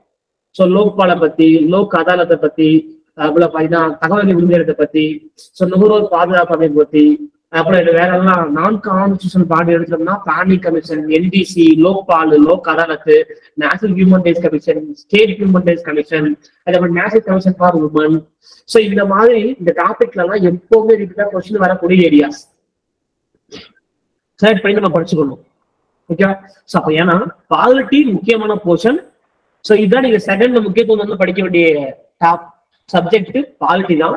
ஏன்னா இதுல அதிகமான கொஸ்டின் ஹிஸ்டரிக்கு அப்புறம் அதிகமான கொஸ்டின் பாலிட்டி தான் கேட்கிறாங்க பதிமூணு கொஸ்டின் இந்த பாலிட்டி வந்து பிலிமினரிக்கு மட்டும் கிடையாது. உங்களுக்கு மெயின்ஸுக்கும் ஹெல்ப்ஃபுல்லா இருக்கும். மெயின்ஸ்க்கான போர்ஷன்லயுமே பாலிட்டி இருக்கு. ஸோ அதனால. ஓகேவா சரி. அடுத்து நெக்ஸ்ட் பாருங்க அடுத்து பாலிட்டி டவுட் இருக்கா? கொடுத்துருக்காரு. இப்ப நான் உங்களுக்கு என்னோட சப்ஜெக்ட் பத்தி தான் நான் பேச வந்திருக்கேன். இப்ப நான் வந்து கரெக்டா பேச என்ன பண்றேன்? டீச் பண்றேன். போன குரூப் ஒரு எக்ஸாம் எல்லாருமே எழுதியிருப்பீங்க. குரூப் ஒரு எக்ஸாம் எதுவா கற்றுக்கணும் கொஸ்டின் ஈஸியா கஷ்டமா? எப்படி பண்ணீங்க நீங்க ஆன்சர் பண்ண மாட்டீங்க. கொஸ்டின் ஈஸியா கஷ்டமா? கொஞ்சம் பேசுங்கப்பா. யாருமே சார் பேசாதான் பேசாதான் எனக்கு கேட்கும் சொல்லுங்க. கொஸ்டின் ஈஸி தான் சார் கொஸ்டின் ஈஸியா சூப்பர் நிச்சயமா ஓகே சரி கொஸ்டின் ஈஸி நிறைய பேருக்கு வந்து கொஸ்டின் ஈஸி தான் சரிங்களா? சரி ஓகே ஆனா போன வாட்டி குரூப் பார்த்தீங்கன்னா டிஎன்பிசி வந்து ஜெனரலா யூஸ் பண்ற பேட்டர்ன் வந்து ஃபாலோ பண்ணாங்களா? இல்ல புதுசா நிறைய மாத்திருக்காங்க பாத்தீங்களா? ஆன்சர் கீ பார்த்திருப்பீங்க? கொஸ்டின் எப்படி கேட்டிருக்காங்க? எல்லாமே பார்த்திருப்பீங்க. எந்த மாதிரி கொஸ்டின் கேட்டிருக்காங்க? இந்த வாட்டி பாத்தீங்கன்னா குரு வந்து கொஞ்சம் வித்தியாசமா கொஸ்டின் எல்லாம் என்ன பண்ணிருக்காங்க செட் பண்ணிருக்காங்க நீங்களே பார்த்திருப்பீங்க. தமிழ் வந்து எப்போது போலதான் கேட்டிருக்காங்க. இப்ப ரீசெண்டா இங்கிலீஷ்ல தமிழ்ல கூட பாத்தீங்கன்னா உங்களுக்கு ஜிகே வந்து ஆட் பண்ண ஆரம்பிச்சிடுறாங்க. இந்த வாட்டி உங்களுக்கு நூறு கொஸ்டின் தமிழ் இதுல மூணு கொஸ்டின் ஜிகே இருந்துச்சு எத்தனை பேர் பாத்தீங்க கொஸ்டின் ஏதாவது ஒரு கொஸ்டின் தெரியுமா? ஜிகே கேட்டது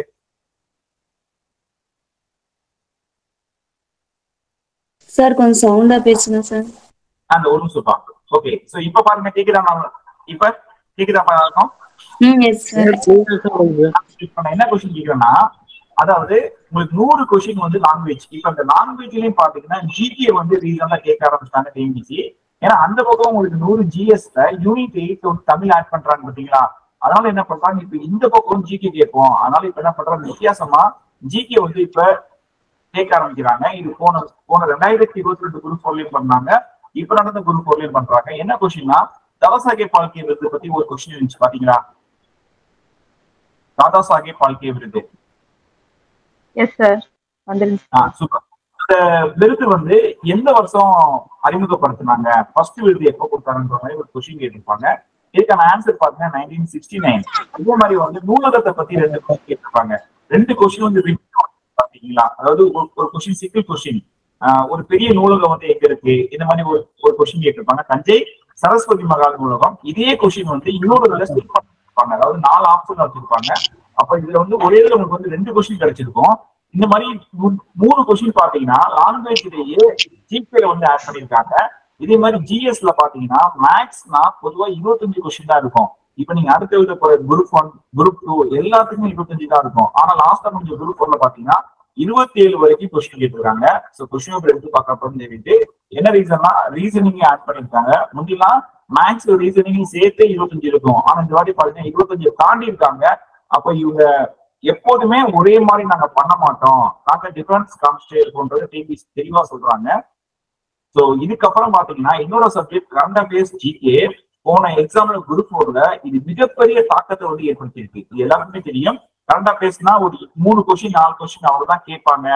அசால்ட்டா போனாங்க. நிறைய பேருக்கு சரியான அடி. ஏன்னா கிட்டத்தட்ட பாத்தீங்கன்னா எத்தனை கொஸ்டின் வந்து தெரியுமாப்பா கரண்ட் அஃபேர்ஸ் ஜிகே எல்லாம் சேர்த்து. யாராவது? தப்பு ரைட்டா பேசுங்க. தயவு செஞ்சு பேசுங்க. அமைதியா மட்டும் இருக்காரு நீங்க கிளாஸ்ல கொஸ்டின் பாத்துருப்பீங்களா கொஸ்டின் பாத்துருப்பீங்களா எழுதுறீங்க எழுதுலையா? ப்ரீவியஸ் ப்ரீவியஸ் இயர் கொஸ்டின்ஸ்ல இருந்து சார் ஒரு மூணு கொஸ்டின்ஸ் வந்துருந்துச்சு சார் எத்தனை இருந்துச்சு மூணு கொஸ்டின்ஸ் சார் மூணு கொஸ்டினா ஆ? ஆமா சார் ப்ரீ கரண்ட் அஃபேர்ஸ்ல ப்ரீவியஸ் கொஸ்டின்ஸ்ல இருந்து மூணு கொஸ்டின்ஸ் வந்துருந்துச்சு கிட்டத்தட்ட பாத்தீங்கன்னா போன குருப்பூர்ல கரண்ட் அஃபேர்ஸ் ஜிகே சேர்த்து இருபத்தி மூணு வரைக்கும் கொஸ்டின் வந்திருக்கு. ஓகேங்களா இருபத்தி மூணு வரைக்கும் கொஸ்டின் வந்திருக்கு சோ கொஸ்டின் பேப்பர் எடுத்து பாருங்க. இப்போ வரைக்கும் கொஸ்டின் பேப்பர் பார்க்காம இருந்தீங்கன்னா தயவு செஞ்சு எடுத்து பாருங்க. இருபத்தி மூணு வரைக்கும் கொஸ்டின் கேட்டிருக்காங்க.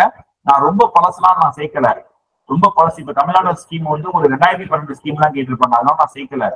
லேட்டஸ்டா உள்ள கரண்ட் அஃபேர்ஸ் ஜிகே இப்ப தமிழ் மொழியை செம்மொழியை வந்து எப்ப அறிவிச்சாங்க? ரெண்டாயிரத்தி நாலு. இந்த மாதிரி இருக்கிற கொஸ்டின்ஸ் மட்டும் நான் ஆட் பண்ணி சொல்றேன். இதுவே இருபத்தி மூணு இருக்கு அப்ப ஜிஎஸ்ல கிட்டத்தட்ட நூறு கொஸ்டின்ல பாதிக்கு பாதி மேக்ஸ் கரண்ட் அஃபேர்ஸ் இருக்கு. மிச்சம் ஐம்பது தான் மிச்ச கொஸ்டின் அப்ப டோட்டலா ஹிஸ்டரியில இருந்து ஹிஸ்டரியா ஒரு பத்து கொஸ்டின் பத்து கொஸ்டின் கேட்கறாங்கன்னா அதுல இருந்து ஒரு ரெண்டு கொஸ்டின் பாலிட்டில ரெண்டு கொஸ்டின் இந்த மாதிரி எடுத்து ஃபுல்லா ஜிகே கரண்ட் அஃபேர்ஸ் என்ன பண்றாங்க ஆட் பண்ணிட்டாங்க. அப்ப அடுத்த குரூப் டூல அல்லது குரூப் ஒன்ல என்ன பண்ணுவாங்க? யாருக்குமே தெரியாது. அப்ப சோ நம்ம தான் என்ன பண்ணணும்? எல்லாத்துக்குமே தயாரா இருக்கணும். சோ நம்மளுடைய அகாடமி சார்பில் பாத்தீங்கன்னா ஆன்லைன் கிளாஸ்லயே உங்களுக்கு இங்க இருக்கிற ஃபேக்கல்டி எல்லாமே எக்ஸ்பீரியன்ஸ் ஃபேக்கல்டி டீட்டெயிலா தெளிவா அழகா என்ன பண்ணுவாங்க? எடுத்து கொடுத்துருவாங்க. உங்களுக்கு ரிசல்ட்டுக்கு என்ன தேவையோ அதை ஃபுல்லா பக்காவா பண்ணுவாங்க. இசை சார் நீங்களே பார்த்துருப்பீங்க. அழகா தெளிவா சூப்பரா சொல்லுவாரு ஒரு குழந்தைக்கு எப்படி சொல்லி கொடுக்கணுமோ அந்த மாதிரி அழகா சொல்லி கொடுத்து புரிய வைப்பாரு. இதே மாதிரிதான் ஒவ்வொரு ஃபேக்கல்ட்டியும் பாத்தீங்கன்னா உங்களுக்கு வந்து கிளாஸஸ் வந்து ஃபுல்லா ஆன்லைன் மூலமா எடுத்து கொடுப்போம் ஸோ கண்டிப்பா உங்களுக்கு கிளாஸஸ் வந்து யூஸ்ஃபுல்லா இருக்கும். ஸோ கரண்ட் அஃபேர்ஸ் வந்து நான் தான் உங்களுக்கு என்ன பண்ணுவேன் ஹேண்டில் பண்ணுவேன். ஸோ குரூப் ஃபோர்ல எப்படி கேட்டிருக்காங்களோ இதை விட குரூப் ஃபோர்ல கேட்ட கரண்ட் அஃபேர்ஸ் வந்து ரொம்ப ரொம்ப பேசிக்கா தான் கேட்டிருப்பாங்க. சரிங்களா? இந்த கரண்ட் அஃபேர்ஸ் வந்து இப்ப இருபத்தி மூணு கேட்டிருக்காங்கன்னா அசால்ட்டா பத்து கொஸ்டின் என்ன பண்ணலாம் அடிக்கலாம். இப்ப இம்பார்ட்டன்ட் டேட்ஸ்லாம் மூணு கொஸ்டின் கேட்டிருப்பாங்க. அதெல்லாம் டைரக்ட் கொஸ்டின் பார்த்தோன்னே ஆன்சர் பண்ணலாம். அந்த மாதிரி தான் கேட்டிருப்பாங்க. ஆனா அடுத்து குரூப் டூல ஏன்னா குரூப் டூ பெரிய சேலரி பெரிய போஸ்டிங் அதுல இந்த மாதிரி கேட்பாங்க கேட்டா கிடையாது. நீங்க ஃபர்ஸ்ட் என்ன பண்ணணும் ரெண்டாயிரத்தி இருபத்தி ரெண்டு குரூப் குரூப் கொஸ்டின் இருக்கு பாத்தீங்களா? ரெண்டாயிரத்தி அந்த கொஸ்டின் இருக்கு பாத்தீங்களா? அது நீங்க ஃபர்ஸ்ட் என்ன பண்ணணும்? எடுத்து நீங்க பார்க்கணும். சரிங்களா? ஏன்னா மெயின்ஸ் நடந்தது ரெண்டாயிரத்தி இருபத்தி மூணு. சரிங்களா? பிலிம்ஸ் நடந்தது ரெண்டாயிரத்தி இருபத்தி மூணு. அந்த கொஸ்டின் பேப்பரை எடுத்து பாருங்க. அப்பதான் குரூப் டூல எப்படி கொஸ்டின் கேட்பாங்க? அடுத்த எக்ஸாம்ல இது உங்களுக்கு தெரிய வரும். ஓகேவா இது நிறைய பேர் பண்ண மாட்டாங்க. தயவு செஞ்சு பண்ணுங்க ஃபர்ஸ்ட் ப்ரீவியஸ் இயர் கொஸ்டினை படிக்கணும். சரிங்களா? ப்ரீவியஸ் இயர் கொஸ்டினை ஃபர்ஸ்ட் படிக்கணும். ப்ரீவியஸ் இயர் கொஸ்டின் படிச்சாதான் டிஎன்பிசி அடுத்த எக்ஸாம்ல இந்த வழியை வந்து யூஸ் பண்ணுவாங்க. நமக்கு நல்லா தெல்ல தெளிவா தெரியும். ஓகேவா சரிங்களா? பண்ணலாமாப்பா இயர் கொஸ்டின் எல்லாரும். ஃபாலோ பண்ணலாமா? எஸ் சார் பண்ணலாம் சார் சூப்பர் ஆஹ் அதாவது ரெண்டாயிரத்தி கடைசியா நடந்த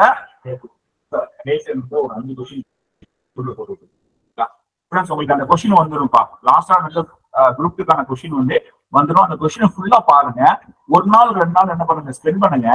நமக்கு எண்பது நாட்கள் இருக்கு. பொதுவாகவே இத்தனை இத்தனை நாட்கள் தான் டிபிசி கொடுப்பாங்க. ஆனா போன குரூப் ஃபோரை கம்பேர் பண்றப்ப இந்த வாட்டி நாட்கள் ரொம்ப கம்மி தான் குரூப் ஃபோருக்கு வந்து கிட்டத்தட்ட நூத்தி இருபத்தி மூன்று நாட்கள் வரைக்கும் இருந்துச்சு. கால்பார்ல இருந்து எக்ஸாம் ரீசன் வந்து எலெக்ஷன்னால ஆனா பொதுவா ஒரு எக்ஸாம் கால்பார்னா இவ்வளவு டேஸ் தான் கொடுப்பாங்க. எழுபத்தஞ்சுல இருந்து எண்பது நாள் தான் கொடுப்பாங்க. அந்த மாதிரி தான் இந்த வாட்டி குரூப் கொடுத்துருக்காங்க. இந்த நாட்களை கரெக்டா திட்டமிட்டு படிச்சீங்கன்னா கண்டிப்பா இந்த குரூப்ல ஜெயிக்கலாம். எங்களுடைய எங்களுடைய மாணவர்கள் எல்லாருமே ஒரு பெரிய இலக்கு ஒரு பெரிய போஸ்ட்ல தான் இருக்கணும். அதுதான் எங்களுடைய விருப்பம். நீங்க குரூப் ஃபோர் நல்லா பண்ணியிருந்தாலும் பாஸ் பண்ணியிருந்தாலும் இந்த போஸ்டிங்க கையில வச்சுக்கோங்க. அடுத்து நீங்க படிக்க வேண்டியது குரூப் டூ எக்ஸாமு அப்படியே கண்டினியூ பண்ணுங்க. குரூப் ஃபோருக்கு என்ன படிச்சீங்களோ அதே தான் குரூப் ஃபோர்னா கொஸ்டின் பேசிக்கே குரூப் டூனா கொஸ்டின் வந்து டெப்த் இப்ப அப்படிலாம் கிடையாது. எல்லா எக்ஸாமே கொஸ்டின் டைப் வந்து ஒரே மாதிரி ஆக்கிட்டாங்க டிஎன்பிசி குரூப் ஃபோர்லயும் கஷ்டமான கொஸ்டின்லாம் கேட்க ஆரம்பிச்சிட்டாங்க. அதனால குரூப் ஃபோர்ல நீங்க என்ன உழைச்சிங்களோ அதை விட இன்னும் ஒரு பத்து மடங்கு கூடுதலான என்ன குரூப் டூக்கு படிச்சீங்கன்னா இந்த எண்பது நாட்கள் கரெக்டா ஒரு பிளான் பண்ணி நம்மளுடைய சென்டர்லயே பாத்தீங்கன்னா டெய்லி ஈவினிங் வந்து ஒவ்வொரு நாள் ஒவ்வொரு ஃபேக்கல்ட்டி வந்து என்ன பண்ணுவாங்க? கிளாஸ் வந்து ஹேண்டில் பண்ணுவாங்க. அப்படின்றப்ப இந்த எண்பது நாட்கள் பக்காவா ஒரு ஷெட்யூல் போட்டு உங்களுக்கு டோட்டலா எல்லா சிலபஸும் முடிச்சு கொடுத்துருவோம். சிலபஸ் முடிக்கிற ஒரு விஷயம் இல்ல. சிலபஸ் முடிச்சு கொடுத்து உங்களை பாஸ் பண்ண வைக்கணும். அது நாங்க செய்வோம். அதுக்கு என்ன தேவையோ அதை நாங்க எல்லாமே நாங்க பக்காவா நாங்க பண்ணுவோம். சரிங்களா? அப்போ குரூப் ஃபோர் இதே மாதிரி தான் நாங்க நல்லபடியா முடிச்சு கொடுத்தோம். அதே மாதிரி தான் இப்ப நாங்க எங்க குரூப் டூக்கான பேட்ச் நாங்க ஸ்டார்ட் பண்றோம். சரிங்களா? கரண்ட் அஃபேர்ஸ் என் கையில இருக்கு. ஸோ இசை சாருடைய சப்ஜெக்ட் வந்து அவர் என்ன பண்ணுவார்? ஃபுல்லா ஹேண்டில் பண்ணுவாரு. மேக்ஸ்க்கு வந்து பாலா சார் வருவார். இந்த மாதிரி ஒவ்வொரு சப்ஜெக்ட்டுக்கும் ஒவ்வொரு ஃபேக்கல்ட்டியும் வந்து பக்காவா உங்களுக்கு என்ன பண்ணுவோம் கிளாஸஸ் வந்து எடுத்து கொடுப்பாங்க. சரிங்களா? அதனால என்னுடைய ரெக்வஸ்ட் நான் என்ன சொல்றேன்? ஃபர்ஸ்ட் நீங்க ப்ரீவியஸ் இயர் கொஸ்டின் பேப்பரை ஃபர்ஸ்ட் நீங்க பார்க்கணும். அதை பார்த்தா தான் உங்களுக்கு ஒரு ஐடியாஸ் கிடைக்கும். போன குரூப் டூ கொஸ்டின் ரொம்ப டஃபா கேட்டிருப்பாங்க. சரிங்களா? அதுல கரண்ட் அஃபேர்ஸ் வந்து எட்டோ ஒன்பதோ தான் கொஸ்டின் கேட்டிருப்பாங்க. அந்த ஒன்பதுமே ஒன்பதுல ரெண்டு மூணு தான் ஆன்சரே பண்ண முடியும். அந்த அளவுக்கு ரொம்ப டஃபா கேட்டிருப்பாங்க. ஒரு கொஸ்டின் எக்ஸாம்ல டஃபா கேட்கணும்னா டிஎன்பிசி ஹேண்டில் பண்றது கரண்ட் அஃபேர்ஸ்ல தான் கை வைப்பாங்க. கரண்ட் அஃபேர்ஸ் ஜிகேல மட்டும் தான் கை வைப்பாங்க. இது வந்து பாத்தீங்கன்னா குரூப் டூல கண்டிப்பா நடக்கும். அதனால ஸோ உங்களுக்கு என்ன தேவையோ ரிசல்ட்டுக்கு என்ன தேவையோ அது எல்லா ஃபேக்கல்ட்டியுமே பக்காவா பண்ணுவாங்க. ஸோ இன்னைக்கு ஃபர்ஸ்ட் கிளாஸ் சார் சொல்லியிருந்தாங்க. அதனால சும்மா ஒரு ஒரு இன்ட்ரோ நான் உங்களுக்கு நான் கொடுத்துருக்கேன். சரிங்களா? ஸோ அஃபேர்ஸை பொறுத்த வரைக்கும் நாங்க கேரண்டி ஸோ ஒவ்வொரு சப்ஜெக்ட்டுக்கும் ஒவ்வொரு ஃபேக்கல்ட்டி வந்து கேரண்டி சரிங்களா நீங்க ஜாயின் பண்றவங்க தாராளமா ஜாயின் பண்ணலாம் நம்மளுடைய அகாடமில ஆன்லைன் கோர்ஸ் பக்காவா நாங்க என்ன பண்ணுவோம் முடிச்சுக்கணும். சரிங்களா? எதுவும் டவுட் இருந்தா கேட்டுக்கோங்கப்பா. கரண்ட் அஃபேர்ஸ் பேப்பர் படிக்கணும்ப்பா. நியூஸ் பேப்பர் கண்டிப்பா படிக்கணும். Okay sir okay news paper எத்தனை மாதிரி படிக்கிறீங்க டெய்லி நியூஸ் பேப்பர் எத்தனை பேர் படிக்கிறீங்க? பழக்கம் இருக்கா? இனிமே தான் ஸ்டார்ட் பண்ணணும் சார் இனிமேல் ஸ்டார்ட் பண்ணணுமா? சரி, இனிமேல் ஸ்டார்ட் பண்றீங்கன்னா இன்னைக்கு ஸ்டார்ட் பண்ணுங்க ஐயா நாளைக்கு ஆரம்பிச்சிருவீங்களா? சார் இன்னைக்கு என்ன டேப்பா இன்னைக்கு? இன்னைக்கு June twenty one June twenty one என்ன டே இன்னைக்கு? Friday International Yoga Day answer International Yoga Day super International Yoga Day சர்வதேச யோகா தினம் ஓகேவா யோகா டே தான் டிஎன்பிசி நிறைய வாட்டி கேட்டிருக்காங்க. ஓகேவா யோகா டேக்கான டீம் படிக்கணும். யோகா டே எப்படி வந்துச்சு? இந்த மாதிரி எல்லாமே நாளைக்கு பேப்பர் பாருங்க. யோகா டே பத்தி தெளிவா சொல்லியிருப்பாங்க. நம்ம பிரதமர் மோடி அவர்கள் எங்க வச்சு யோகா பண்ணியிருக்காரு? இந்த மாதிரி எல்லாமே தெரியும். நமக்கு தெரியணும். இதே மாதிரி தான் போன ரெண்டாயிரத்தி இருபத்தி மூணுல என்ன பண்ணிருப்பாரு பிரதமர் வந்து அமெரிக்காவை வச்சு யோகா பண்ணியிருப்பாரு. ஓகேவா இந்தியாவுக்கு வெளியே வந்து பண்ணிருப்பாரு இந்த மாதிரி நிறைய நடக்குது. இதெல்லாம் பேப்பர் படிச்சா மட்டும் தான் சாத்தியம். அதனால பேப்பர் தயவு செஞ்சு படிங்க. எங்களுடைய கிளாஸஸ் எல்லாம் இப்ப நான் வந்து கரண்ட் அஃபேர்ஸ் ஹேண்டில் பண்றேன்னா நான் பேப்பர் வச்சு தான் கிளாஸஸ் ஃபுல்லா நான் பண்ணுவேன். ஒழுங்கா கொண்டு போவேன். சரிங்களா? ஓகே வேற எதாவது டவுட் இருந்தா கேட்டுக்கோங்கப்பா இல்லைன்னா சார் வந்து கிளாஸ் வந்து கண்டினியூ பண்ணிட்டோம் லாஸ்ட் இது நீங்க ஸ்டடி பிளான் அப்படின்னு பார்த்தோம்னா we have a track okay இது பாத்தீங்கன்னா நமக்கு தெரிஞ்சுக்கணும் இப்போ டேட் என்னென்ன டேட்ல யார் யாருக்கு என்னென்ன கிளாஸ் இருக்கும் மண்டே வெனஸ்டே ஆன்லைன்ல ஆன்லைன் டிஎன்பிசி குவாலிட்டி அந்த கிளாஸ்ல என்ன கவர் பண்ணாரு? யார் கவர் பண்ணிருக்கு அப்படின்னா இசிக்கு சார் கவர் பண்ணியிருக்காரு பார்ட் லெவன்ல இருந்து பார்ட் ஃபிஃப்டின் வரைக்கும் எடுத்திருக்காரு. சரிங்களா? ரெக்கார்ட் செக்ஷன்ல இருந்து போர்ட்டு வரைக்கும் எக்ஸாம் வரைக்கும் கொடுத்துருவோம். எத்தனை ஆன்லைன் எவ்வளவு மணி நேரம் எடுத்தார் வரைக்கும் நிறைய எனக்கு இந்த பிளான் வந்து எனிவே வி ஹேவ் ஓகேங்களா இதோட சம்மரின்னு பாத்தீங்கன்னா இந்த பக்கம் எனிவே வி ஹேவ் சம்மரி இதுல பாத்தீங்கன்னா எவ்வளவு ஹவர்ஸ் நாங்க பிளான் பண்ணிருக்கோம் இந்த பக்கம் வச்சிருக்கோம். எவ்வளவு ஹவர்ஸ் நாங்க கொடுத்துருக்கோம்? ஓகே இதை பேஸ் பண்ணி தான் நம்ம இந்த பிளான் ஸ்டடி பிளான் எல்லாமே வந்து நார்மலா பேக் ஸ்டார்ட் பண்ணணும்னு கொடுப்பாங்க அதுக்கப்புறம் பார்த்தீங்கன்னா அது ஃபாலோ பண்றது கொஞ்சம் கஷ்டம்.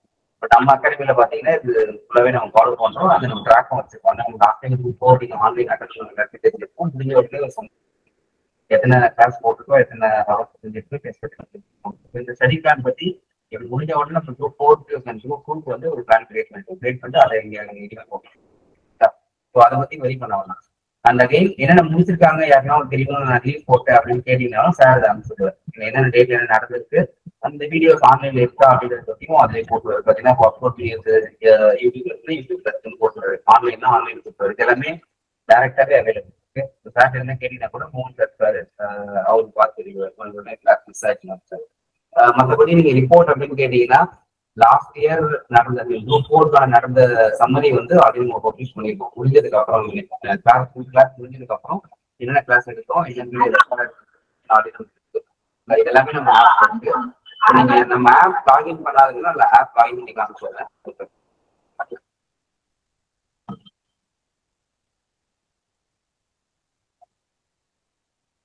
சில கண்டென்ட் பார்த்தீங்கன்னா இத்தனை கண்டென்ட் இருக்கு. ஓகே சில விஷயம் பார்த்தீங்கன்னா லாஸ்ட் இயர்ல ப்ரீவியஸ் கொஸ்டின் கொடுத்துருக்கு குரூப் ஃபோர் பேட்ச் வருது லாஸ்ட் ஆனது குரூப் ஃபோர் பேட்ச் வருது இதுல பாத்தீங்கன்னா டிஎன்பிசி இருக்கும் இலக்கணம் content part A part B part C எல்லாத்தோட இதுமே இதுல கொடுத்துருக்கோம்.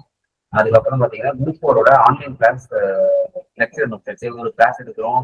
லெக்சர் வந்து ஒரு பிபிடி கொடுக்குறாரு அப்படின்னா அந்த பிபிடிஸ்மே இதில் ஃபுல்லாக அப்லோட் பண்ணி கொடுக்குறோம் என்னென்ன பிபிடிஸ் அது எல்லாமே இதில் அப்லோட் பண்ணி இருக்கோம் நீங்கள் போனே அதில் இது வந்து எல்லாத்தையுமே கொடுத்துருக்கு அப்படி என்னென்ன கிளாஸ் நோட்ஸ் என்ன கொடுக்குறாங்களோ அதை டேரெக்டாக இங்கே இருக்கும்.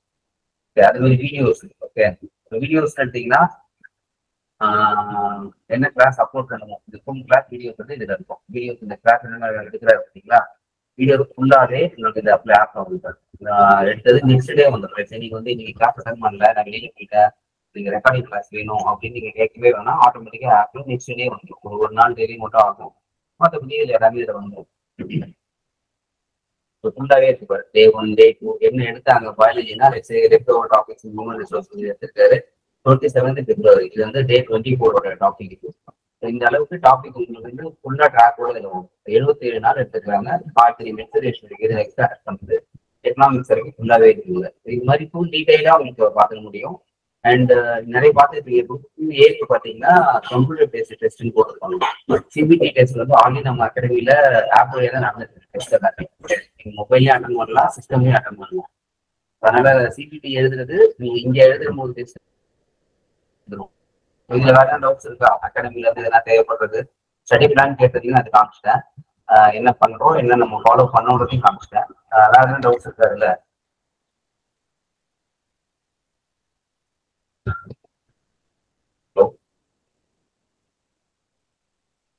பார்த்தாச்சு. ஸோ அடுத்து பாலிட்டி பார்த்தோமா ஆ பாலிட்டி பாலிட்டி. வந்து டென்த் குடிமையல் புக் ஃபுல்லா படிக்கணும் அப்படின்னு ஸோ படிக்கணும். அது தவிர வேற பாலிட்டி எப்படி எந்த அப்ரோச் படிக்கணும்னா டாபிக் வைஸ் படிச்சுக்கணும் ஸோ இந்த பாலிட்டியில முக்கியமான டாபிக் எப்பவுமே கேள்வி வரக்கூடிய டாபிக் அப்படின்னு நம்ம பார்த்தோம் அப்படின்னா இங்க பாருங்க. ஸோ இந்த டாபிக் ரொம்ப முக்கியமானது. எப்பவும் கேள்வி வரும். எப்பவுமே ஃபண்டமெண்டல் ரைட்ஸ் அடிப்படை உரிமைகள் நீங்க படிச்சிட்டீங்கன்னா அதை வந்து ஃபண்டமெண்டல் ரைட்ஸ் வந்து பாத்தீங்கன்னா இந்திய அரசியலமைப்புல பார்ட் த்ரீல பகுதி மூணுல ஆர்டிக்கல் ஸோ டுவெல்ல இருந்து ஆர்டிக்கல் தேர்ட்டி ஃபைவ் வரைக்கும் படிச்சுக்கணும். எப்போதுமே கேள்வி இருக்காது நீங்க குரூப் ஃபோர் எடுத்தீங்கன்னா அது கேள்வி கேட்டிருந்தாங்க குரூப் ஃபோர்ல ஓகேவா ஸோ அப்போ ஃபண்டமெண்டல் ரைட்ஸ் வந்து கேள்வி கேட்பாங்க. அப்புறம் டிபிஎஸ்பி ஆர்டிகல் முப்பத்தாறு டு ஐம்பத்தொன்னு அது குரூப் டூல கேட்பாங்க. ஸோ டிபிஎஸ்பி வந்து குரூப் ஃபோர்லயும் கேட்டிருந்தாங்க ஒரு கேள்வி. ஆனா குரூப் டூலயும் கேள்வி கேட்பாங்க. அடுத்து பார்லிமெண்ட்டை பத்தி அடுத்து நெக்ஸ்ட் வந்து பார்த்தோம்னா இந்த இந்தியன் இருப்பாங்க ஒன்றிய நாடாளுமன்றம் இது முக்கியமான கேள்வி கேட்பாங்க. அடுத்து மாநில நிர்வாகம் இது ரொம்ப முக்கியங்க ஏன்னா மாநில நிர்வாகம் மற்றும் மாநில சட்டமன்றத்தை படிச்சுக்கணும். ஏன்னா மெயின்ஸ்க்கு வந்து ஸோ ரொம்ப ரொம்ப ஒரு ஹெல்ப்பா இருக்கும் இந்த டாபிக் தான் பாலிட்டியை பொறுத்துள்ள நம்ம ஸ்கூல் புக் வைஸாவும் கவர் பண்ணிக்கணும் சிலபஸ் வைஸாவும் படிச்சுக்கணும். ஓகேவா அடுத்து நெக்ஸ்ட் வந்து பார்த்தோம்னா அடுத்து ரொம்ப எளிமையான பகுதி ஸோ அதிகமான மதிப்பெண்கள் எதுனா புவியியல் ஜாகிரபி போர்ஷன் ஸோ ஜாகிரபி போர்ஷன்ங்கிறது ரொம்ப ரொம்ப எளிமையான பகுதி. ஸோ அதிகமா மார்க் வர்ற பகுதி இது ஜாகிரபி இது ஜாகிரபில எப்படி ஜாகிரபியை எப்படி படிக்கிறது? அதிகமான மார்க் எப்படி வாங்குறது? ஸோ அதை பத்தி நம்ம பார்க்க போறோம். ஓகே ஸோ அப்ப ஜாக்கிரதையை பொறுத்தவரை பார்த்தோம்னா கட கட கடைசியாக TNPSC group two group two exam ரெண்டாயிரத்தி இருபத்தி நடந்துச்சு அந்த கொஸ்டின் பேப்பர் நம்ம அனலைஸ் பண்ணி பார்த்தா ஜாகிரபில இருந்து மட்டும் நமக்கு எவ்வளவு கொஸ்டின் கேட்டதுன்னா நாலு கொஸ்டின் கேட்டது அப்போ மிகப்பெரிய ஒரு பங்களிப்பு ஜாக்கிரதை போர்ஷன்ல இல்ல. பட் இருந்தாலும் இதை விட முடியுமானா விட முடியாது. சோ இத ஜாகிரபியை பொறுத்தவரை பார்த்தோம்னா ஜாகிரபில சில போர்ஷன் காமனான டாபிக்கா இருக்கு அதாவது நீங்க பாத்தீங்க அப்படின்னா இந்த வேளாண்மை மற்றும் வேளாண் முறைகள். வேளாண் முறைகள்ங்கிற இந்த டாபிக் வந்து பாத்தீங்க அப்படின்னா ஜாகிரபிலையும் உண்டு. அதே போல எக்கனாமிக்ஸையும் உண்டு. ஸோ அப்போ ஒரு டாபிக்ல மிஸ் ஆனா கூட இன்னொரு டாபிக்ல நம்ம பேசுவாங்க கேள்வி கேட்டுருவாங்க ஸோ அதனால ஜாக்கிரதையில் நம்ம நம்ம முக்கியத்துவம் வந்து படிக்க வேண்டியது. ஸோ புவியுடைய அமைவிடம் படிச்சுக்கணும் இயற்கையான குடும்பம் முக்கியமானது படிச்சுக்கணும் அடுத்து ஆறுகளை பத்தி கேள்வி கேட்பாங்க. அடுத்து மண் மற்றும் கனிமங்களை பத்தி கேள்வி கேட்பாங்க. அதுக்கு அடுத்து இந்த டாபிக் ரொம்ப முக்கியம் போக்குவரத்து மற்றும் தகவல் தொடர்பு. ஸோ டிரான்ஸ்போர்ட் அண்ட் கம்யூனிகேஷன் சொல்லுவோம் இந்த டாபிக் இருந்து எப்போதுமே கேள்வி கேட்பாங்க. இது முக்கியமான டாபிக்கை படிச்சுக்கணும். அடுத்து இந்தியாவின் மக்கள் தொகை அடர்த்தி மட்டும் பரவல். எப்பவுமே மக்கள் தொகையில இருந்து ஒரு கேள்வி கேட்பாங்க. சோ இது ரொம்ப முக்கியமான ஜாகிரபியில ஜாகிரபிய எப்படி படிக்கணும் அப்படின்னா சோ இதுவும் சிக்ஸ்த் டென்த்துக்குலாம் அப்படிதான் படிக்க கூடாது ஜாகிரபிய சிலபஸை வச்சு சிலபஸ் உள்ள லெசனை மட்டும் கவர் பண்ணா போதுமானது. ஜாகிரபியை டென்த் வரைக்கும் மட்டும் படிச்சிடாம டுவெல்த்தையும் தாண்டி கொஞ்சம் வெளியே போய் நம்ம படிச்சுக்கணும். அப்புறம் மட்டும்தான் ஜாக்கிரதையா நம்மளால ஃபுல் ஸ்கோர் வாங்க முடியும். அதுக்கடுத்து எக்கனாமிக்ஸ் எக்கனாமிக்ஸ் போர்ஷனை பொறுத்தவரை ஸோ எக்கனாமிக்ஸ் வந்து பிரிலிமினரி தாண்டி மெயின்ஸுக்கு நமக்கு எக்கனாமிக்ஸ் இருக்கு. ஸோ அதனால மெயின்ஸ் அப்ரோச்சே நம்ம எக்கனாமிக்ஸ் படிச்சுக்கிறது ரொம்ப ரொம்ப நல்லது. மெயின்ஸை பொறுத்தவரை பார்த்தோம் அப்படின்னா எக்கனாமிக்ஸ்ல கடந்த கடந்த லாஸ்டா வந்து பாத்தீங்கன்னா ரெண்டாயிரத்தி இருபத்தி ரெண்டுல நடந்த முடிஞ்ச குரூப் டூ தேர்வுல நமக்கு எக்கனாமிக்ஸ் வந்து மட்டும் ஒரு ஆறு கொஸ்டின் கேட்டிருக்காங்க. எக்கனாமிக்ஸ்ல இருந்து மட்டும் ஒரு ஆறு கொஸ்டின் கேட்டிருக்காங்க. எக்கனாமிக்ஸ்ல இந்த ஆறு கொஸ்டின் நம்ம அட்டன் பண்றதுக்கு செலக்டிவான டாபிக்கை மட்டும் படிச்சாலே போதும். ஆறு கொஸ்டின் அட்டன் பண்ணிடலாம். ஆனா செலக்டிவா எக்கனாமிக்ஸை படிக்காம நம்ம எல்லா டாபிக்கும் படிச்சிட்டோம் அப்படின்னா செலக்டிவா படிச்சோம் அப்படின்னா ப்ரிலிமினரி பாஸ் பண்ணிடலாம். ஆனா எல்லா டாபிக்கும் நம்ம படிச்சோம் அப்படின்னா எக்கனாமிக்ஸ்ல மெயின்ஸுக்கு ஹெல்ப்ஃபுல்லாக இருக்கும் பட் நீங்க செலக்டிவா படிக்கிறீங்க எக்கனாமிக்ஸ்ல அப்படின்னா ஸோ ஃபைவ் இயர் பிளான் இது நீங்க படிச்சா போ ஃபைவ் இயர் பிளான்ல இருந்து நமக்கு எப்பவுமே கேள்வி இருக்கு. மொத்தம் டுவெல் ஃபைவ் இயர் பிளான் இந்த டுவெல் ஃபைவ் இயர் பிளான்ல இருந்து கண்டிப்பா ஒரு கேள்வி இருக்கு. அதுக்கு அடுத்து பிளானிங் கமிஷன் திட்டக்குழுவை பத்தியும் நிதி ஆயோக் நிதி ஆயோக்களை பற்றியெல்லாம் கேள்வி கேட்டிருந்தாங்க குரூப் ஃபோர்ல அப்போ பிளானிங் திட்டக்குழு இது இது முக்கியமான டாபிக் இதை படிச்சுக்கணும். அதுக்கடுத்து ஃபினான்ஸ் கமிஷன் நிதி ஆணையத்தை பத்தி படிச்சுக்கணும். அடுத்து ஜிஎஸ்டி சரக்கு மற்றும் சேவை வரி. இந்த வரியில வந்து எப்பவுமே கேள்வி கேட்பாங்க எக்கனாமிக்ஸ்ல வரினா என்ன? இதுல நேர்முக வரினா என்ன? மறைமுக வரினா என்ன? அப்ப டாக்ஸ்ல வந்து கண்டிப்பா ஒரு கொஸ்டின் கேட்பாங்க. ஸோ டாக்ஸ் டீட்டெயிலா படிச்சுக்கணும். அதுக்கடுத்து நில சீர்திருத்தம் மற்றும் வேளாண்மை. சரிங்களா? ஸோ அந்த லேண்ட் நம்ம எங்கே பார்த்தோம் அந்த வேளாண்மைங்கிறது ஜாகிரத்திலே இருக்கு இங்கே இருக்கு. ஸோ லேண்ட் அப்ப அந்த நில சீர்திருத்தம் இதுலையும் படிச்சுக்கணும் இது முக்கியமான போர்ஷன் அதுக்கடுத்து ஊரக நலன்சார் திட்டங்கள் படிச்சுக்கணும் அப்புறம் மக்கள் தொகை கல்வி நலவாழ்வு மற்றும் வேலை வாய்ப்பு வருவது ஸோ இப்போ இது எல்லாமே தான் முக்கியமான டாபிக்ஸ் ஸோ இந்த டாபிக்கை ஃபுல்லா நம்ம கட்டாயமா படிச்சுக்கணும். இதை மிஸ் பண்ணிடக்கூடாது. செலக்டிவா இதை மட்டும் படிச்சாலும் எக்கனாமிக்ஸ் ஒரு ஆறு கேள்வி கேட்கறாங்கன்னா நம்மளால ஒரு அஞ்சு கேள்வி வரைக்கும் ஆன்சர் பண்ண முடியும். ஓகேவா எல்லாத்தையும் படிக்காம இதை இந்த டாபிக்கை மட்டும் படிச்சாலே போதும். நம்ம ஒரு ஆறு கொஸ்டின் கேட்கலாம் அஞ்சு கொஸ்டின் ஆன்சர் பண்ணுவோம். ஓகே எக்கனாமிக்ஸ் நம்ம எப்படிதான் படிக்கணும்னா சிலபஸ் வைஸா நம்ம படிக்கணும். எதுவும் டவுட் இருக்கா இல்ல? எக்கனாமிக்ஸ்ல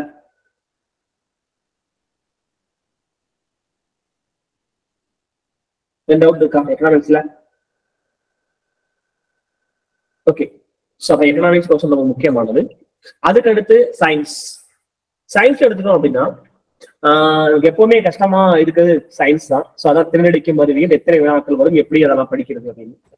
ஸோ மொத்தமா சயின்ஸ்ல இருந்து ரெண்டாயிரத்தி இருபத்தி ரெண்டு குரூப் டூ தேர்வுல பிசிக்ஸ்ல இருந்து ஒரு மூணு கேள்வியும் அதே போல பாத்தீங்கன்னா கெமிஸ்ட்ரில இருந்து ஒரு நாலு கேள்வியும் அதே போல பாட்னி காலேஜ்ல இருந்து ஒரு மூன்று கேள்வியும் கேட்டிருக்காங்க ரெண்டாயிரத்தி இருபத்தி ரெண்டு கொஸ்டின் எடுத்து அனலைஸ்லி பார்த்தா நம்ம கேட்ட கொஸ்டின் கவுண்ட் வந்து நம்ம பார்த்தோம்னா பிசிக்ஸ்ல இருந்து ஒரு மூணு கெமிஸ்ட்ரி வந்து ஒரு நாலு பாட்னி அண்ட் சுவாலஜில ஒரு மூணு. ஓவரால் சயின்ஸ் ஏரியால வந்து மட்டும் நமக்கு எத்தனை கேள்வி கேட்டிருக்காங்க? ஸோ பத்து கொஸ்டின் படிச்சிருக்காங்க கேட்டிருக்காங்க. ஸோ இந்த பத்து கொஸ்டினை நம்ம அட்டன் பண்றது. ஸோ நீங்க நம்ம கைட் பண்ணி காமிச்சுக்க பாருங்க. இந்த டாபிக்கை மட்டும் படிச்சாலே போதும். பத்து அட்டன் பண்ணிடலாம் ஸோ இது ரொம்ப ரொம்ப முக்கியமானது. சயின்ஸ்ல பிசிக்ஸ்ல பாத்தீங்கன்னா ஸோ பேரிடத்தின் இயல்பு சோலார் சிஸ்டத்துல இருந்து எப்பவும் கேள்வி கேட்பாங்க. ஸோ அது ஒண்ணு. பேரிடத்தின் இயல்பு இது முக்கியமான டாபிக் அடுத்து இயக்கவியல் மற்றும் பொது அறிவியல் இது ரொம்ப முக்கியமான டாபிக் அதுக்கடுத்து விசை அழுத்தம் மற்றும் ஆற்றல் இது முக்கியமான டாபிக் அடுத்து காந்தவியல் ஒளி ஒளி வெப்பம் இது ரொம்ப முக்கியமான டாபிக் இதெல்லாம் பிசிக்ஸ்ல முக்கியமான டாபிக் இந்த டாபிக்கை மட்டும் படிச்சாலே போதும். நம்ம பிசிக்ஸ் வந்து கேட்கிற கேள்விகளுக்கு நம்ம ஆன்சர் பண்ணிடலாம். அடுத்து கெமிஸ்ட்ரி ஸோ கெமிஸ்ட்ரி எடுத்தோம்னா தனிமங்கள் சேர்மங்கள் அமிலங்கள் காரங்கள் மற்றும் உப்புக்கள். அடுத்து உரங்கள் அதுக்கு அடுத்து பூச்சிக்கொல்லிகள். ஸோ இது எல்லாம் ரொம்ப முக்கியமான டாபிக் இதை மட்டும் படிச்சாலே போதும். கெமிஸ்ட்ரியில கேட்கிற கேள்விகளுக்கு ஃபுல்லா மார்க் பண்ணிட்டோம் வாங்கிடலாம். அதுக்கு அடுத்து பாட்னி சோலஜி வச்சிட்டோம்னா மரபியல் உடலியல் ஊட்டச்சத்து உடல் நலம் சுகாதாரம் மற்றும் மனித நோய்கள். ஸோ இது எல்லாம் முக்கியமான டாபிக் ஸோ அப்போ இதெல்லாம் நம்ம டீட்டெயிலா படிச்சுட்டா போதுமானது. நமக்கு ஏதாவது கண்டிப்பாக கேள்விகள் வரும். ஓகேவா பாருங்க. அப்ப சயின்ஸ்ல சயின்ஸ் ஓவரால் இப்ப நம்ம ஹைலைட் பண்ணது மட்டும் நீங்க பார்த்தாலே போதும். கேட்கிற ஒரு பத்து கொஸ்டின்ல குறைஞ்சபட்சம் ஒரு எட்டு கொஸ்டினா நம்ம என்ன பண்ணிடலாம்? அட்டன் பண்ணி முடிச்சிடலாம். ஓகேவா இல்ல ஃபுல் அட்டன் பண்ணிடலாம். ஏன் டவுட் எதுவும் இருக்கா? இருந்தா கேட்கலாம். டவுட் இருந்தா கேளுங்க. ஏன் டவுட் இருக்கா?